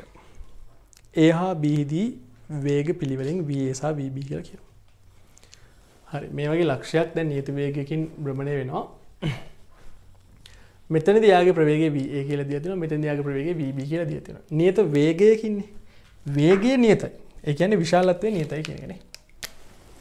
දිශාව වෙනස් වුණාට විශාලත්වය නියතයි කියන එකයි යෝගෙන් කියවෙන්නේ. එහෙනම් මෙන්න මෙතන අගයත් V නම් මෙතන අගයත් V වෙන්න ඕනේ. හරිනේ. දැන් අපෙන් අහනවා දෛශික දෙකේ සම්ප්‍රයුක්තය සහ අන්තරය අතර අනුපාතයක් නේ. මම ටිකක් මේ දෛශික දික් කරන්න. මෙයත් මෙහෙම දික් කරන්න. මෙතන අරයක් සහ පරිදියට අදිනලා ස්පර්ශයක් කියලා කියන ලම්බකයිනේ. මෙතනත් එහෙමයි. අරය සහ ස්පර්ශකයේ ලම්බකයි. මේ කෝණ දෙක 180යි නම් මේ කෝණ දෙකත් 180 වෙන්න ඕනේ. එහෙනම් මේ කෝණය 90 180 වෙන ටීට වෙන්න ඕනේ. ඒ කියන්නේ මෙන්න මේ කෝණය ආපහු ටීට වෙන්න ඕනේ. ඔයා මුලින්ම මේක තේරුම් ගන්න.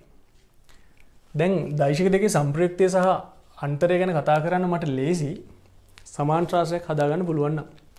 දැන් මේ ටීට කියලා කියන්නේ දෛශික දෙක අතර කෝණය. බලන්න ඒක තේරෙනවද කියලා. මෙහෙට තමයි VB දෛශිකය තියෙන්නේ. මෙහෙට තමයි VA දෛශිකය තියෙන්නේ. එහෙනම් මේ තියෙන්නේ දෛශික දෙක අතර කෝණය. මට පුළුවන් මේ දෛශිකය පොඩ්ඩක් මෙතනට අරගෙන එන්න. මෙයාව පොඩ්ඩක් මෙතනට අරගෙන ගිහිල්ලා මට ඔක ලියන්න බල මෙන්න මෙහෙ විදිහට. VB කියලා දෛශිකයක් තියෙනවා. VA කියලා දෛශිකයක් තියෙනවා. ওই දෛශික දෙක අතර කෝණය වෙන්නේ ටීට. පැහැදිලිද? එතකොට මේ දෙන්නගේ විශාලත්ව සමානයිනේ. එහෙනම් මෙතනත් මේ පාද දෙකේ විශාලත්ව සමානයි. එතකොට මම සමාන්ත්‍රාශ්‍රයක් මේ විදිහට නිර්මාණය කරාම මෙතනදී නිර්මාණය වෙන සමාන්ත්‍රාශ්‍රය කියන විශේෂිත නම් මොකක්ද? මේ දෙන්නගේ විශාලත්ව සමානයි නම්. ඒක රොම්බසයක් වෙන්න ඕනනේ. ආ එහෙනම් මෙතනදී නිර්මාණය වෙන්නේ රොම්බසයක්. රොම්බසයක් වීමේ තියෙන වැදගත්කම. දැන් අපි දන්නවා මෙන්න මේ විකරණයෙන් ලැබෙන්නේ ওই දෛශික දෙකේ සම්ප්‍රයුක්තිය. මේ විකරණයෙන් ලැබෙනවා දෛශික දෙකේ අන්තරය. රොම්බසයක් වීමේ වැදගත්කම තමයි මෙන්න මේ කෝණයේ අංශක 90යි. විකරණ දෙක සමච්ඡේදනය වෙනවා.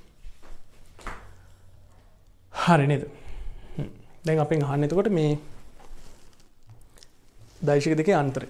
දෛශික දෙකේ අන්තරය බෙදන්න ඕනි දෛශික දෙකේ ඓක්‍යය. මෙන්න මෙයා අපෙන් අහන්නේ. VB නැමැති දෛශිකය ඍණ VA නැමැති දෛශිකය. බෙදීම VB නැමැති දෛශිකය ධන VA නැමැති දෛශිකය. කියන කට්ටියගේ විශාලත්වය අතර අනුපාතය.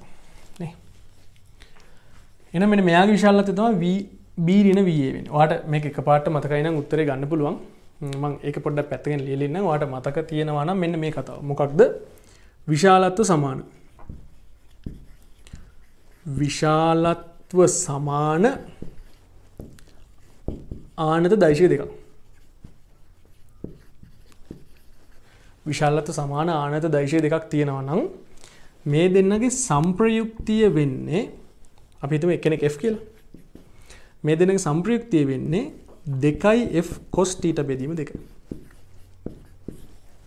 මේ දෙනගේ අන්තරය වෙන්නේ දෙකයි F සයින්ටීට බෙදීම දෙක. මේ අගයන් දෙක වාට මෙතිදි මතක් වුණාන කෙලින්ම අතන්ට ආදේශ කරන්න තින් විශාලත්ව සමාන දෛශක දෙක ආනතව තියෙන අවස්ථාවකදී අන්තරය වෙන දෙකයි සයින්ටීට බෙදීම දෙක අපි කලින් මේ ගැන කතා කරලා තියෙනවා. අයික්‍ය වෙන්න දෙකයි කොස්ටිට බෙන එක එනම් දෙකයිට දෙකයි කැපිල ගිහිල්ලා මට උත්තර එන්නේ ටෑන් ටීට බෙදීම දෙක හැටියට. ඕක තම උත්තරේම පොඩ්ඩක් මෙතින්දි ඕන්නන් අර අපි සම්ප්‍රක්තයට ගොඩ්ඩගපු සමිකරනයක් තියන ප්‍රකාශනය. සම්ප්‍රක්තිර සාන්තරයට එතනට දත් ආදශල සුළු කළ ගන්න පුළුවන්. හැබ මෙතනි සරලව ගන්න පුළුව අපට විබේදනින් සරලව ගන්න පුළුව එකට හේතු තම මේක රොම්බසයක්වීම නිසා. මෙතන කෝනේ සමච්චය දෙනවා මේ මුළු කෝනේ ටීටන මෙන මේ කෝනේ ටීට බෙදීම දෙකක් වෙනවා.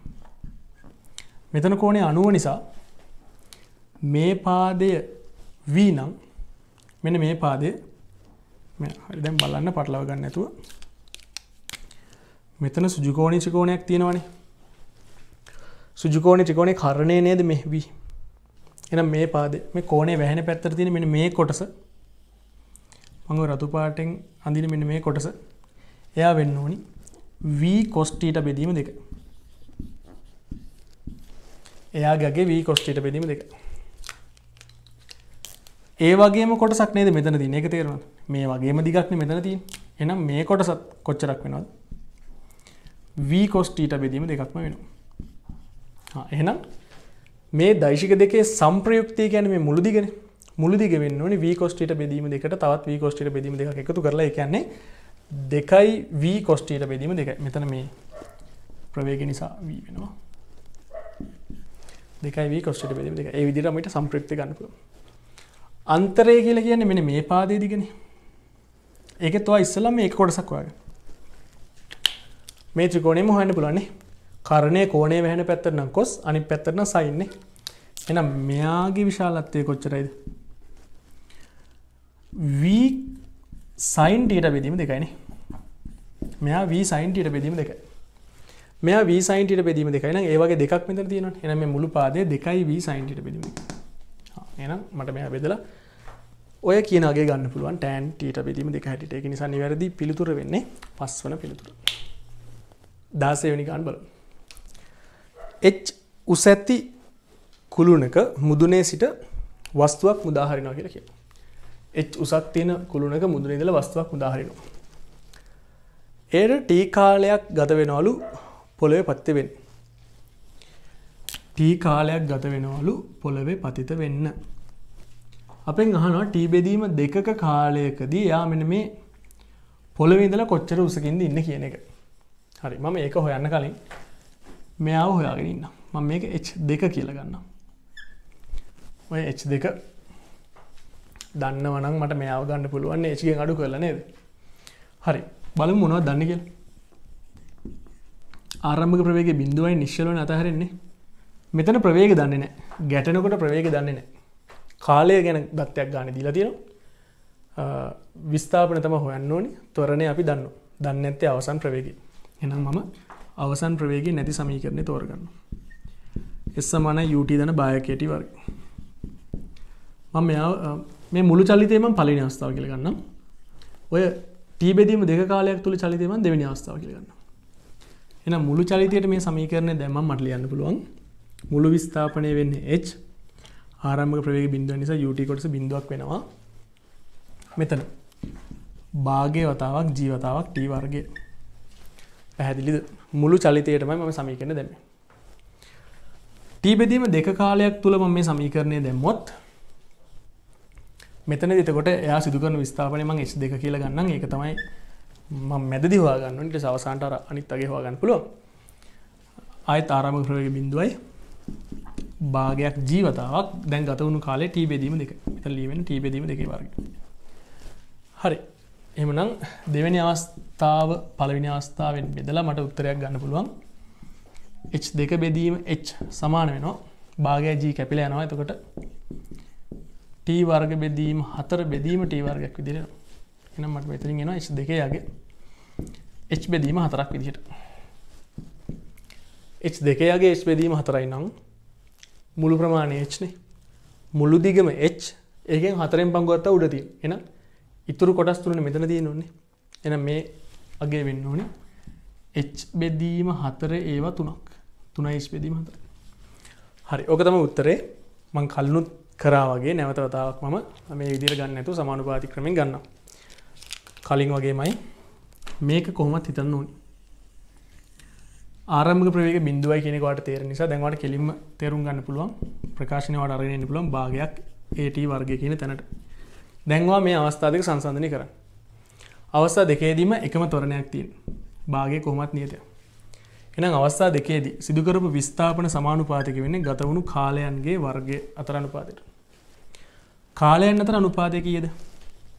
පලනි අවස්ථාවට දෙවනි අවස්ථ ටී බෙදීම දෙක එනම් කාලයන අතර අනුපාතය දෙකට එක එනම් කාලයන්ගේ වර්ගතර අනුපාතය හතරට එකයි. එනම් විස්ථාපනතර අනුපාතය හතරට එකයි. මුළු විස්ථාපන H. H කියලා කියන්නේ හතරක් නම් H කියලා කියන හතරක් නම් එකක් කියලා කියන්නේ. H කියලා කියන හතරක් නම් එකක් කියලා කියන්නේ H බෙදීම හතරයි. එහෙනම් මෙයා ඇවිල්ලා තියෙන පල්ලයට H බෙදීම හතරක්. ඒ කියන්නේ තව යට යන්න තියෙනවා 3 H බෙදීම හතරක්. ඒක තමයි ගානේ හන්නේ පොළවේ ඉඳලා තියෙන උස. එහෙනම් මේ විදිහට උත්තරේ ගන්න පුළුවන්. උත්තරේ එතකොට පොළවේ සිට කොපමණක් ඉහලින් පවතීද කියලා නහනේ ටී බෙදීම දෙක කාලයකදී පොළවේ සිට කොපමණ ප්‍රමාණයක් ඉහලින් පවතීද එහෙනම් උත්තරේ වෙන්නේ 3 S බෙදීම 4යි. හරි 17 වෙනි ගාන බලමු. බැලුනයක් 12ක වේගයකින් ඉහළට ගමන් කරනවා කියලා කියනවා. බැලුනයක් 12ක වේගයකින් ඉහළට ගමන් කරනවා.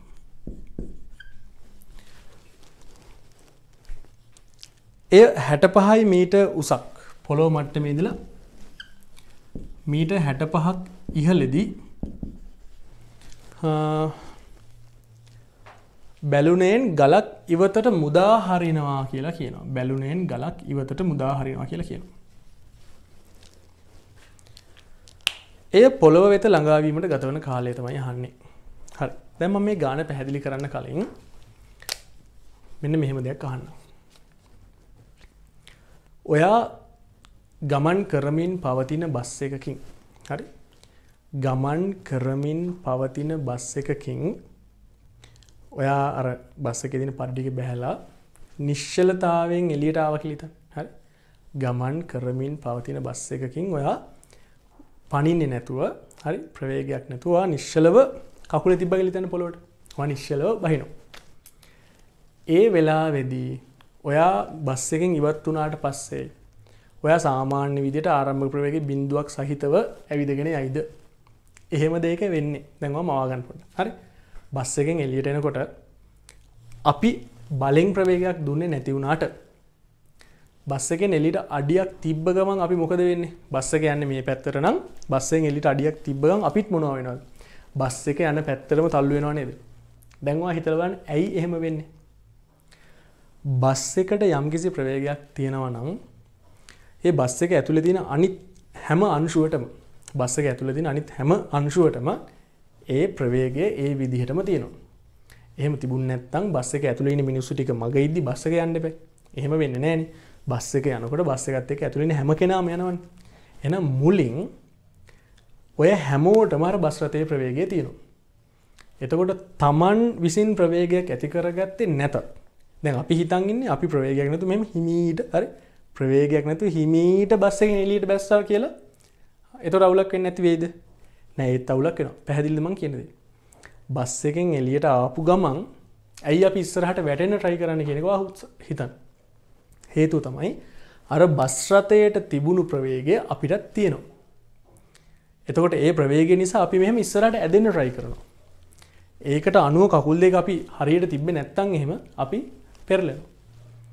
ඒ නිසා තමයි බස් එකකින් පයින්නකොට එහෙම ඔයාලා දැකලා ඇති. ඔයාලා කරන්න යන්න එපා. හරි. බස් එකකින් පයින්න යනකොට මොකද කරන්නේ? බස් එක යන පැත්තටම වේගෙන් ඉස්සරහට දුවන ගමන්නේ පයින්නේ. ඇයි ඒ?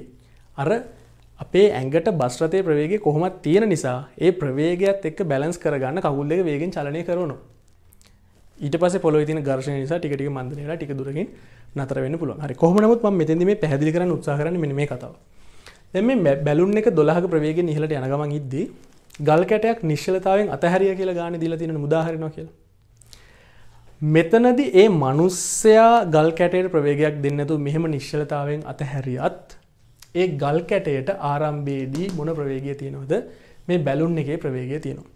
ඒ නිසා ඔයා හිතන්න එපා මෙතනින් අතහැරෙන ගල් කැටේ ආරම්භක ප්‍රවේගය වෙන්නේ පහලට බින්දුවයි කියලා. එහෙම හිතනවා නම් ඒක වැරදි. මොකද ගල් කැටේටත් මේ බැලුන් එකේ ප්‍රවේගය ආරම්භේදී තියෙනවා. එනම් අතහරින මොහොතෙන් පස්සේ ගල් කැටයත් ඉහලට දොළහක ප්‍රවේගයකින් තමයි ගමන් කරන්න පටන් ගන්නේ. හැබැයි මෙතනින් එහාට එයාමත් තියෙන එකම බලය එයාගේ බර නිසා මෙතනින් එහාට මෙයා ටික දුරක් ගිහලා මෙහෙම මන් මන්දනය වෙලා ආය පල්ලයට වැටේවි. මේක නෙවෙයි සිද්ධ වෙන චලිතය මෙන්න මේක. ඔයා ඒක මෙතනදී තේරුම් ගන්න. බැලුන් එක ඉතින් දිගටම 12ක ප්‍රවේගයෙන් එයා දිගටම මෙහෙම ඊළඟට ගමන් කරන්නේ. එකට හේතුව බැලුන එක අභ්‍යන්තරය තව වෙන බාහිර බල මගින් හරි මෙතන ක්‍රියාත්මක එකම් බලය බර නෙමෙයි තව තියෙන බල ටික නිසා එයා ඊළඟට ගමන් කරනවා. හරි. දැන් එහෙමනම් මොකක්ද දහන්නේ අපේ? එය පොළොව වෙත ළඟාවීමට ගතවන කාලය තමයි පෙන්හන්නේ. මේ දොළහක ආරම්භක ප්‍රවේගයෙන් ඉහලට යනගෙන හැට පහක් පල්ලයට වැටෙන් ඕනි ඒ සඳහා ගතවන කාලය තමයි යන්න. හරි අවසන් ප්‍රවේගය තමයි දන්න ඇති එහෙනම් අවසන් ප්‍රවේගය නැති සමීකරණ භාවිත කරමු. S සමාන UT ධන භාගයක් KT වර්ගය. මේ සමීකරණය භාවිතා කරමු. ගල් කැටේට. මම සමීකරණ පල්ලයට දාන්න ගොඩක් දේවල් පල්ලයට තියෙන නිසා. එයා පහලට 65ක් එනවා. එයාගේ ආරම්භ ප්‍රවේගය පහලට නෙවෙයි දෙන්නේ ඉහළට. ඒ නිසා මේක ඍණ ඍණ 12යි ගතවන කාලය T. සමීකරණ දාහන් දාන්නේ පල්ලයට තොරණේ තින්නේ පල්ලයට නිසා මෙතන ධන විදිහටමයි ලියවෙන්නේ. භාගයයි තොරණය 10 වතාවක් T වර්ගය. හරි නේද? මෙතනින් එහෙනම් මට එනවා 5යි T වර්ගය ඍණ 12යි T රින හැට පා සමානයි බින්දුව හැටිට දැන් වර්ග සමීකරණයක් තියන මේ වර්ග සමීකරණය සුළු කරලා ඔයාට කාලය සඳහා උත්තරේ ගන්න පුළු මේක සුළු කරාම කාලේ යගේ තප්පර පහක් විදිට එන නිවැරදි පිළිතුර වෙන්නේ තුන්ගෙන පිළිතුර දහටනි ගාන බල ගලක් යු ප්‍රවේගයෙන් සිරස්ව ඉහලට විසිකිරීමෙන් ටී කාලයකට පසු තවත් ගලක් එම ප්‍රවේගයෙන් ඉහලට විසි කරනවා කියලිය. දෙන්න ගැටෙන්න ආරම්භේදල ගතවන කාලෙතමයි හ. හරිදැන් පලවිනිට මා තේරුම් ගන්නුන් දේ තමයි පළවෙනි ගල් කැටය විසිකරන ප්‍රවේගයෙන්මන දෙවැනි ගල් කැටයත් විසි කරන්නේ. එනම් පළවෙනි ගල් කැටේ සිදු කරන චලිතය මයි ඊට ටී කාලයකට පස්සේ දෙවැනි ගල් කැටේ සිදු කරන්නේ. එනම් කොයිම වෙලාවකොත් පළවෙනි ගල් කැටේ පහු කරලා යන්නේ නෑනේද දෙවිනි ගල් කැටේ පලවිනි තේරු ගනෙ එක. ගල්කට යුවගෙන් විසික ඊට ටිකල්ලාට පස තවත් ගල්කට යුවගෙන් විසි කරනවා අර දෙවැනි ගල් කැටේ පලවෙනිගෙන පහු කරලා යන්න විදික් නෑන. එහෙම යන්න තිබුණා දෙවන ගල් කැටේ වැඩි වේගෙන් විසි කරන්න පැහැදිලිද? දෙන්නම විසි කරන්න එකම වේගවලින් නිසා පලවෙනි කෙනගේ චලිතයමයි දෙවනි කෙනත් සිදු කරන්නේ. නිසා අනිවාරයෙන්ම ඉහලට අදදින මෙයාලදින ගැටෙන්නේ නෑ හැබැයි ඔය පළවෙනි ගල් කැටේ උඩට ගිහිල්ලා උපරිම උසට ගියාට පස්සේ එතනින් එහාට එයා පල්ලෙහාට නෙන්නේ ඔන්න පල්ලෙහාට එනකොට දැන් දෙවෙනි ගල් කැටේ උඩට යන ගමන් ඉන්නවා ඇති. අන්න එහෙම තැනකදී මෙයාලා දෙන ගැටේවි. පළවෙනියටම තේරුම් ගන්න ඕනි. පළවෙනි ගල් කැටේ උපරිම උසට යනකම්ම මෙයාලා දෙන ගැටෙන්නේ නැහැ කියන එක. පළවෙනි ගල් කැටය උපරිම උසට යනකම් මෙයාලා දෙන ගැටෙන විදිහක් නැහැ. එය උපරිමුසට කියල පල්ලයට එන චලිතයේදී තම යාල දෙන ගැටේ එහෙනම් මං මුලින්ම හොයන්නම් පලවෙනි ගල් කැටේ උපරි මුසට යන්න යට කොච්චර කාලයක් ගත වෙනද කියලම එක ට එක කියල ගන්න පලවෙනි ගල් කැට උපරි මුසට යන්න ගතවන කාලෙමන් ට එක කියල ගන්න ඔය ට එක හොයන්න මෙයාගේ ආරම්භක ප්‍රවේග යු කියල දීල තියෙනවා. අවසන් ප්‍රවේග බින්දුවයි එමනම් බි සමාන යුදනයට භාවිතා කළ. මං ඔය කාලය හොයන්න අවසන් ප්‍රවේග බින්දුවයි ආරම්භක යු කරණය පල්ලයට නිසාරී ටක සමාන යු බෙදීම ජී එහෙනම් ඔය ගැටීම සිද්ධ වෙන්න ගතවන කාලේ. ඔය ගැටීම සිද්ධ වෙන්න ගතවන කාලේ අනිවාරෙන් යු බෙදීම ජීට වඩා මුණවෙන්න ඕනිද? එක වැඩිවෙන්න ඕනනි ඇයි යුබෙදීම ජී කාලයක් යන මෙයට මෙතන්ට යන්න. එතකම ගැටෙන්න. ඊට පස තමයි ගැටෙන්නේ. එනම් ගැටීමට මුලයිනම් ගතවිච කාලේ යුබෙදීම ජීට වඩා වැඩිවෙන්න දැවා බලන්න. යුබෙදීම ජීට වඩා වැඩි විදිහට තියෙන උත්තර. යුබෙදීම ජී තියෙන උත්තරත් තුනයින තින් එතකොට ඒ තුනේ ඒ තුනෙන් පලවෙනි උත්සොරි පස්සන උත්තරේ යුබෙදීම ජී කියලමයි තියෙන නිසා යායින් කරන්න පුළුවන්. පලනිසා දෙව උත්තර අයින් කරන්න බල මොකද යුබෙදීම ජීකන අනිවාරය මෙතන බලපාන නිසා එක හෝ දෙක වෙන්න බෑ. තුනෝ හතර තමයි වෙන්න පුළන් උත්තර. නේ? දැන් මෙතනින් එහාට. ඔය පලවෙනි කෙනා උපරිමුසට යනකොට දෙවෙනි කෙනා ඉන්න මෙන මෙතන කිලිතන්නකෝ පලවෙනි කෙන උපරිමුස යනකට දෙවනි කෙනයින මෙන මෙතර ම ගාන පැදිලි කරගන්න ලේසින්ට පොඩ්ඩක් මේ ඉරිදික චුට්ටි පරතරකින් ඇදල තින්න. එකම රේකාව චලිතයක් වෙතික හරි. පලනි කෙන උපරිමුස යනකට දෙවනි කෙනයින්න මෙතන. දැන් ඔයා පොඩ්ඩක් හිතල මට කියන්න. දෙවෙනි කෙනා උපරිමූසට යන්න තව කොච්චර කාලයක් ගතවෙද ගැට ගැටීමක් සිද්ධුවනේ නැත්තම්. මේ දෙන ගැටුන් නැත්තම්. දෙවිනි කෙන තමන්ගේ උපරිමුසට යන තව කොච්චර කාලයක් ගත එයා පලවෙනි කෙනාටට ටී කාලයක් පිටිපස්සෙන්න යන්නේ. ඒක නිසා පලවෙනි කෙනා කරන හැම දෙයක්ම දෙවෙනි කෙනත් ඒ විදිහටම කරනවා කොච්චර කාලයකට පස්සෙද? ටී කාලයකට පස්සේ. එනම් පලවෙනි කෙන උපරිමූසට ගිහිල්ලා තවත් ටී කාලයකට පස්සේ තමයි දෙවෙනි කෙනා එතන්ට යනවන යන්න. ගැටුන් නැත්තන් යන්න. පැදිලි එහෙම නං දැන් පලනි කෙන මෙතන ඉන්නේ. අපි නිකමට හිතමුකෝ මේ ගල් කැටේම මෙතනම තියාගත්ත කියලා. මේ ගල් කැටේ මෙතනම තියාගත්ත කිලිතමුකෝ එහෙනම් මෙයා උපරිමූසට ගිල්ලතම මෙයාල දෙන ගැටෙන් මේ උඩදින ගලකෙටම මෙතනම තියාගත්තන මේ පල්ලයිනි කෙන මෙතන්ටම යන්න පේ ගැටෙන්න්න මෙතන ඉදම් මෙයා දෙවෙනි කෙනාටත් එයාගේ උපරිමුසට යන්න ගතවන කාලෙට්ටි පැදිලි දම කලින් එකනක මෙතන ඉඳලා මෙයා එයාගේ උපරිමුසට යනවන තවත් ටී කාලයක් එයාට ගත වෙනවා. හරි මම කියන්න හදන්න මෙන්න මේ කතා ඔය විදිහට උඩම ලක්ෂයේ දිනම් මෙයාල දෙන ගැටෙන්නේ එතකොට ගතවුණු මුළු කාලය වෙන්න ඕන මේකන. යුබෙදීම ජීට එකතු වෙන්න ඕනි. දැම මේ උඩ තින ගලකට මෙහම අල්ලන් හිටියනගේම මැල්දන ගැටන මෙයා මෙතට වෙන්න ඕනි. ඒ සඳ තවත් කාලයක් ගතවෙන මේ ටී කියල කියන ගාන දිලදින ගැප් එක. පලවිනි කෙන විසි කල දෙවිනි කෙන විසි කරන තවත් ටී කාලයන් කියල කියෙන හහෙනම් අර පලවිනි ගල් කැටය එයාගේ උපරි මුසේදී මොකක් හෝ හේතුවක් නිසා නැවතිලා හිටියනම් මෙයාල දෙන්න ගැටෙන්න්න ගතවන කාලය වෙන්න යුබෙදීම ජී දන ටී හැබැයි එහෙම මොකක් හෝ හේතුවක් නිසා උඩ නැවතිලා නෑනේ මෙතනින් එහාට මෙයා උඩරන එකක් මේ පලවෙනි කලකට නිකම් බලාගෙනින් නෑනේ මෙයත් පල්ලෙහාට එනවනේ. තොර මෙයා උඩට යනකොට අර පල්ලට ඇවිලි මැද තැනකදින ගැටෙන්නේ.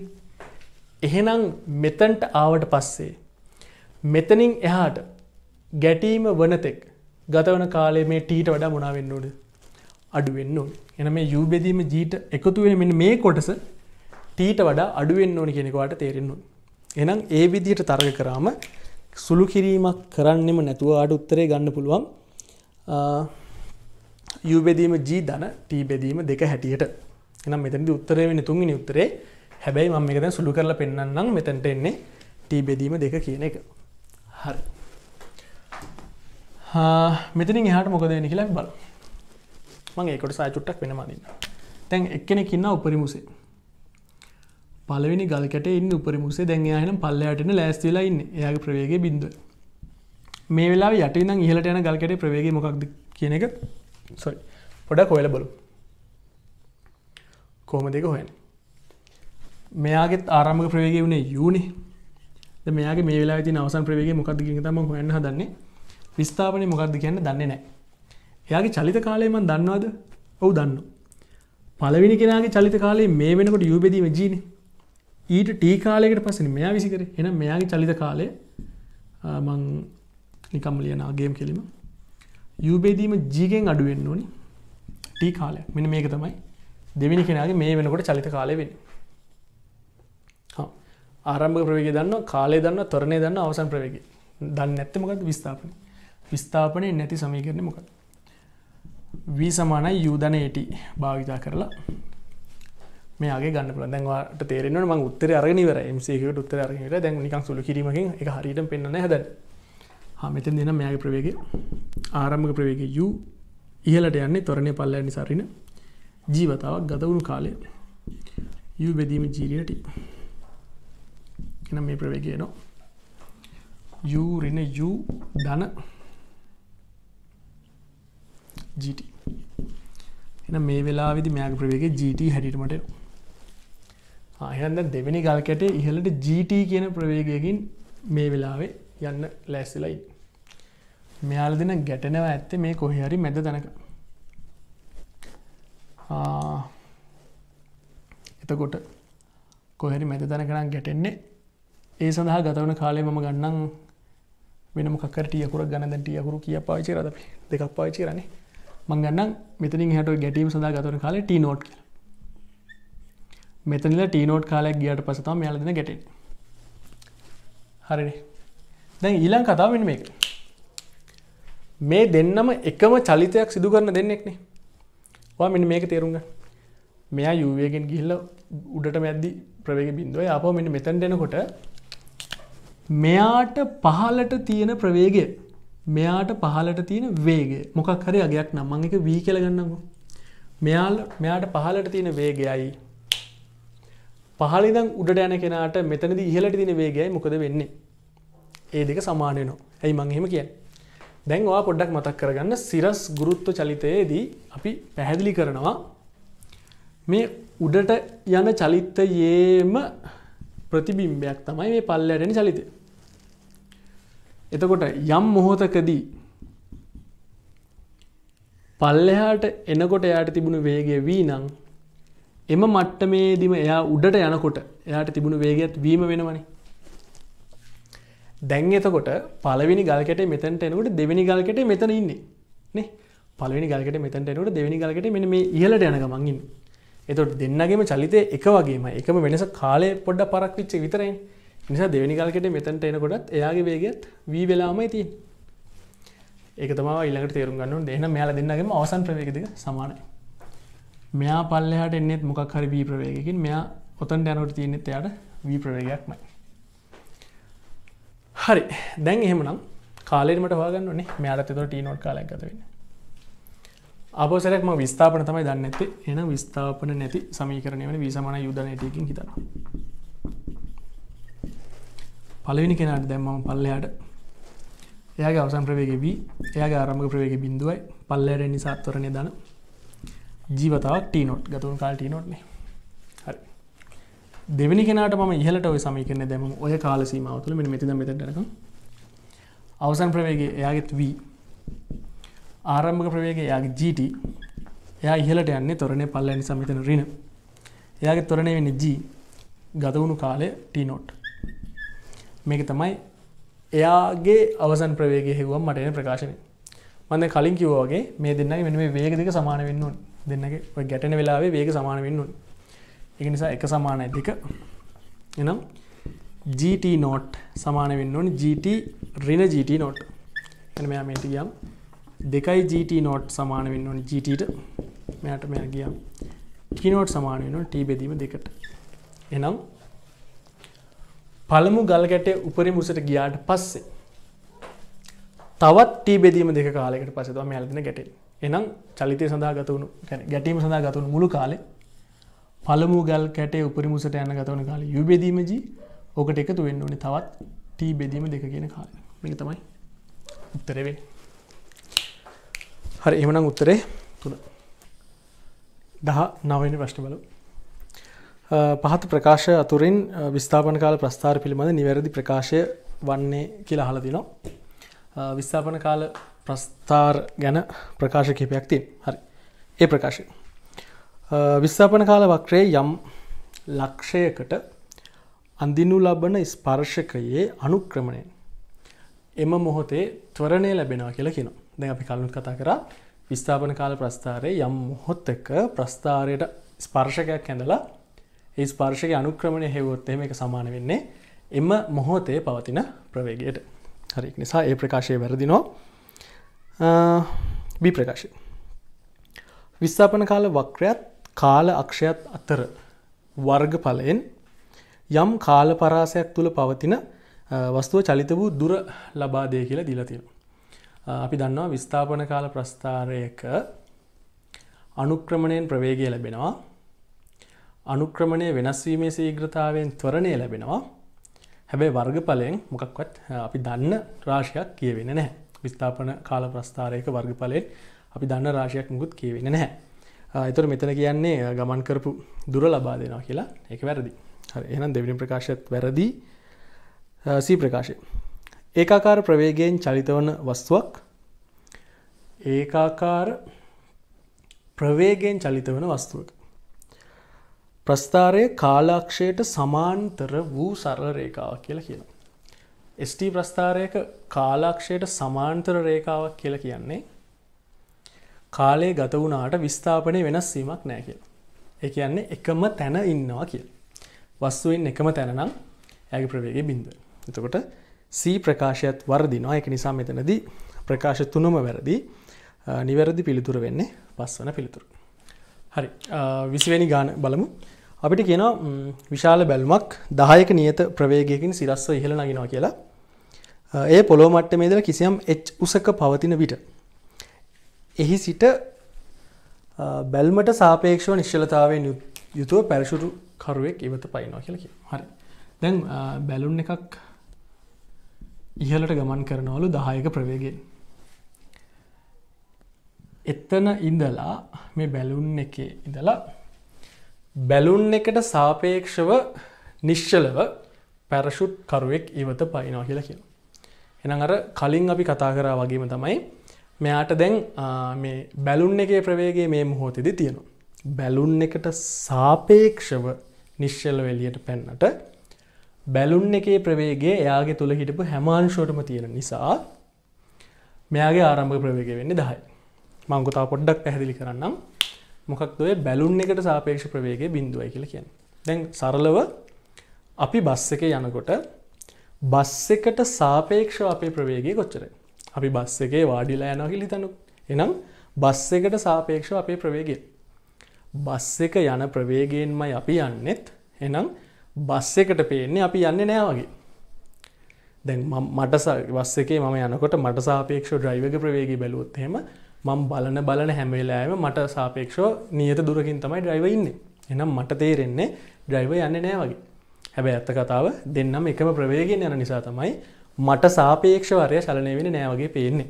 එනම් එක අදහස තමයි මට සාපේක්ෂව කෙනෙක්ගේ ප්‍රවේගේ බිඳුවයි කියනකින් අදහස් වෙන්නේ මට තියෙන ප්‍රවේගේමයි යාට තියෙන්නෙත්. එනම් බැලුන් එකට සාපේක්ෂව නිශ්චලෝ පයිනවා කියනගේ අදහස තමයි බැලුන් එකට එම මොහොතේ දායක ප්‍රවේගයක් තියෙනවා. කියන්නේ ඒ වෙලාවේ මේ පැරශුට් කරුරත් ඒ දාය ප්‍රවේගය ආරම්භෙදි තියෙනු. එනම් මෙයා මේ විදිහට තප්පර තුනක් චලනය වෙලාලුනේ පැරශුට් එක දාගන්නවා කියල කියන අපි දන්නවා සිරස්ස දායක ප්‍රවේගයක් තියෙනවන එක තප්පරයකින් මෙයා උපරි මුසට යනවා. ඊළඟ තප්පරේවරට ආප මේ මට්ටමට මෙනු එතකොට මෙතනදි ප්‍රවේගේ දහය තවත් අප්පරයක් ගියාම මේ මොහොතදි මෙයාගේ ප්‍රවේගේ විස්සක් බවට පත්වෙන හරි. සිරස් ගුරුත්ත චලිතය ගැන අපි දන්න දේවල් පාවිච්චි කරලා තප්පර තුනක් ගත වෙනකොට දැන් මේ වෙදි ටී සමානය තුළ මෙතනදි මම ගන්නකොට ටී සමානය. බිඳුව කියල. තප්පර තුනක් ගත වෙනකොට මෙයා මේ වගේ තැනකට ඇවිල්ල ඉන්න මම මේ මට්ටම කඩයිරකින් මෙහෙම ලකුණු කරොත් මේ මේ තප්පරේදී මීටර් කියක් කිහිලනද උපරි මුසට යන මේ අවසාන තප්පරේදී? මෙයා මීටර් පහක් කියල ගිල්ලා ආපෝ මේ තප්පරදිත් මීටර් පහක් පල්ලට විල්ලා ඊළඟ තප්පරේදි කොච්චර දුරක් එයා පල්ලට ඇවිල්ලා දින්නේ 15 මීටර් දුරක් මෙන්න මේ විදිහට පහළට ඇවිල්ලා ඉන්නේ. දැන් ගුරුත්ව චලිතය භාවිතා කරලා හොයන්න ඕනේ දේවල් අපි දන්න කෙටික්‍රම භාවිතා කරලා ඉක්මනට ඉක්මනට ගත්තා. හරිනේ? දැන් එහෙනම් මෙයාගේ ප්‍රවේගය 20 තියෙන වෙලාවේ තමයි මෙයා පැරෂුට් එක දාගන්නේ.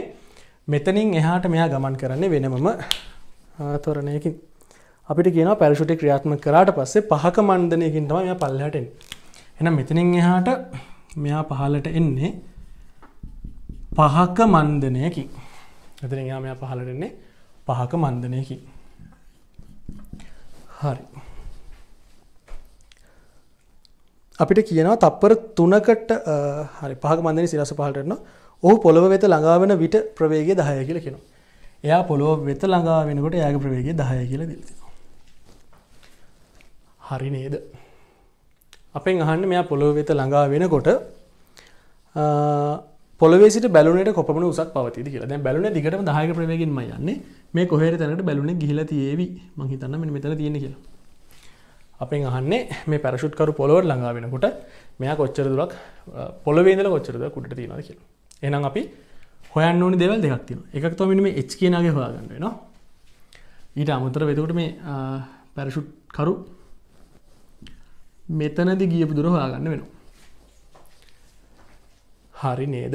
ඔය දේවල් දෙකම හොයාගත්තට පසම පොල්ලවීඳලා මේ බැලුන් එකට තියෙන උස හොයාගන්න පුළුවන් වෙන්නේ. පොළවේදලා බැලුන් එකට ඒ මෝදේදී උස. හරි. හරි දැන්හෙමන ම මේ උස හොයාගන්න මේ එච් කියනගේ හොයාගන්න. මේකොටස පහලව කියන්න දන්න මෙන මේටික ඉස්සල හොයාගෙනන්න මේ උස හොයාගෙනන්න පැ එජ්ිකගේ හොයාගන්න. මේ උස හොයාගන්න ආරම්භ ප්‍රවේග අවසන් ප්‍රවේගසා මන්දනය දන්න නිසා. මට මේ උස හොයාගන්න පුළුව කාලේ නැති සමීකරණයෙන්. වීවර්ගය සමානයි යුවර්ගය දන දෙකයි. ඒස් මම් පහලට දන්නම්. අවසන් ප්‍රවේග දහය දහය වර්ගේ සීයයි. ආරම්භ ප්‍රවේග විස්සයි විස්ස වර්ගය හාරසීය මන්දනයක් නිසාරෙන දෙවතාවක්. මන්දනය විශාලත්වය පහයි. සිදිකුරු විස්ථාපනය තමට හොයාගන්නුව මේ දහයස් මේ පැත්තර අරගෙන ගිහිල්ලා මේ සීය මේ පැත්තරගෙන ගෙනනිච්චම දහය ඒ සමානය තුන්සිය කියලෙනවා එනම් එස් සමානය තිය කියලෙන හරි එනම් මෙන මේ උසමං හොයාගත්ත. තිහයිමීට දැගෙනගේ ඔය ම සිම්පල් එච් කියල දාලතිනගේ හතුලිස් පහයි කියන්න දන්න තවහ නමං හොයාගන්න මෙ මේයගේ ඒක හොයාගන්න මම මොකද කරන්න බැලුන ඉහලට යන ප්‍රවේග දහය කියලා දිල තිනවන මේ පැරෂුට්කරු මෙතනින්ද මෙ මෙතැන්ටෙන්න ගතවන මුළු කාලෙ තප්‍ර පහයිනම් ඒ තප්පර පහතුල මෙයා ඉහලට ගමන් කර දුරන මෙතන හොයන්න ම උදාහරටේ මෙයා මෙතැට තප්‍ර පක් ගතවෙනවා කියලා හිතම්. හරි? ඒ තප්පර පහතුලම මෙයා ගමන් කරන්න මොනවගේ ප්‍රවේගයකින්ද? එයා ගමන් කරන්න ඒකාකාර ප්‍රවේග එනම් ඒ තප්පර පහට මෙයාට සමානය වීඩි තමයි ඉහලට යොදන්න තියෙන්නේ. හරි. එනවාට තේරෙන්වන මේ පැරශුට්කරු කොච්චර වෙලාවකින්ද පොලොට වැටෙන්නේ කියෙනක දන්නවන ඒ කාලය දන්නවනම් ඒ කාලය තුළ මේ බැලුන්නේ කොච්චර කියලට ගයාද කියෙනෙක හොයන්න පුළුව දැඟව තේරුම් ගන මේ බැලුන් එක ගුරුත්වයට චලිතයක නෙවේ නිර්තිව එක අදහස් කරන්නේ බැලුන් එක මත ක්‍රියාත්මක වෙන එකම බල යාගේ බරණවේ එමුණන ඒකාකාරපරවේගෙන උඩට යන්න බෑන්නේ බැලුන එක මත අභ්‍යන්තරය තවත් බලයක් දීලා ප්‍රවේගය නියත කරගෙන තියාගන්න. හරි. කොහොම නමුත් දැන්හෙන මට දැනගන්න ඕනි පැරශුට්කරු මෙතන ඉදල පොළොවට වැඩනයට කොච්චර කාලයක් ගත වුණාද කිය මං මේ වෙනකොට එකකොට සක්දන්නවා මෙතන ඉඳලා අර පැරශුට් එක දාගන්නකන් ගතරුච් කාලෙ තපර තුනා කියල ගන්න දිල තිබන එන මේ ඉතුරු කාලය හවාගත්තන ඒ මුළු කාලෙමට හවාගන්න පුළ හරි මේ මෙතනදි කාලය හවාගන්න මං වී සමාන යුදනටි දන්න අවසන් ප්‍රවේග දහයයි ආරම්භ ප්‍රවේග විස්සයි මණ්ඩනය පහයි ගතවුණු කාලය තමට හවාගන්න එනම් මේ පහට අනි පෙතර ගත දහ මෙහට ගත්තම් පහයිටි සමානය. දහය ඒ කැනට සමානයි. දෙකයි. කාලේ තප්පර දෙකක් විදිට මං එහෙම හොයා ගන්නවා. දැගෙනම් මෙතන තප්පර දෙකයි මෙතන තප්පර තුනයි. පැරශුට් කරු බැලුන් එකෙන් ඉවතට පැන්න මොහොතේ සිට පොළොවට එනකම් යට ගතවන මුළු කාලය තප්පර පහයි. මං ඉස්සල කනාවට වගේ ගැන මේක මතක තියාගෙන නෙවේ කිවේ කොමනමුත් ඇත්තරමත් තප්පර පහක් තමයි යට ගතලා දී හරි. එහෙනම් ඒ තප්පර පහ තුළ බැලුන් එක ඉහලට ගිය පුස. නම් බැලුන් එක ඒ අපර පහතුල බැලුන එක ඉහලට ගිය පුස හොයනම බැලුන් එකට එස්සමන යුට දානවා ඉහලට බැලුන් එකට ඉහලට එස්සමන යුට එයා ඒකාකාර වේගෙන් නැන් එකම එස්සමන යුටිද හරි. ගිය දුරන මට වාගා නොන්නේද එයාගේ ප්‍රවේගේ දාය තපර පහක් ගිලද හිලට එනම් පණහයි මීට ඔය කියන තප්පර පහතුළ බැලුන් එක පණහයි මීට දුරක් මෙතනින් හිලට ගිල්ලතිෙන හරි. එතකොට දැ මෙතන මේ එච්ගැවීම මේ තිහයි මේ හතලිස් පහල ඒ දෙක එකතු හතලිස් පහයි. ඔය හදලිස් පහයි මේ පණහයි අනු පහයි. එනම් පැරශුට්කරු පොලෝට එනකොට බැලුන් එක පොළොවේ සිට මීට අනු පහක් කියලින් තමයි ඒ කියන නිවැරදි පිළිතුර වෙන්නේ හතර වන පිළිතුර. හරි. එනම් ඒ ප්‍රශ්නඇත් එක් අද දවසේ මේ පේප එක ඩිස්කශන එක අවසන්නවා වාලගේ අදහස් තියනවනම් කමෙන්ට් කරන්න. මොනවද මෙතනින් වෙනස් වෙන්නුවන දෙයක් තියනවද? මේ දෙවල් තේරුණාද? හැම දෙයක්ම කමෙන්ට් කරන්න. අපි ගොඩක් ආසාාවෙන් ඒ දෙවල් බලනවා. අපි ඉස්සරහට තවතවත් පේපස් එක්ක හම්බෙමු. එනම් අදට අයිබෝ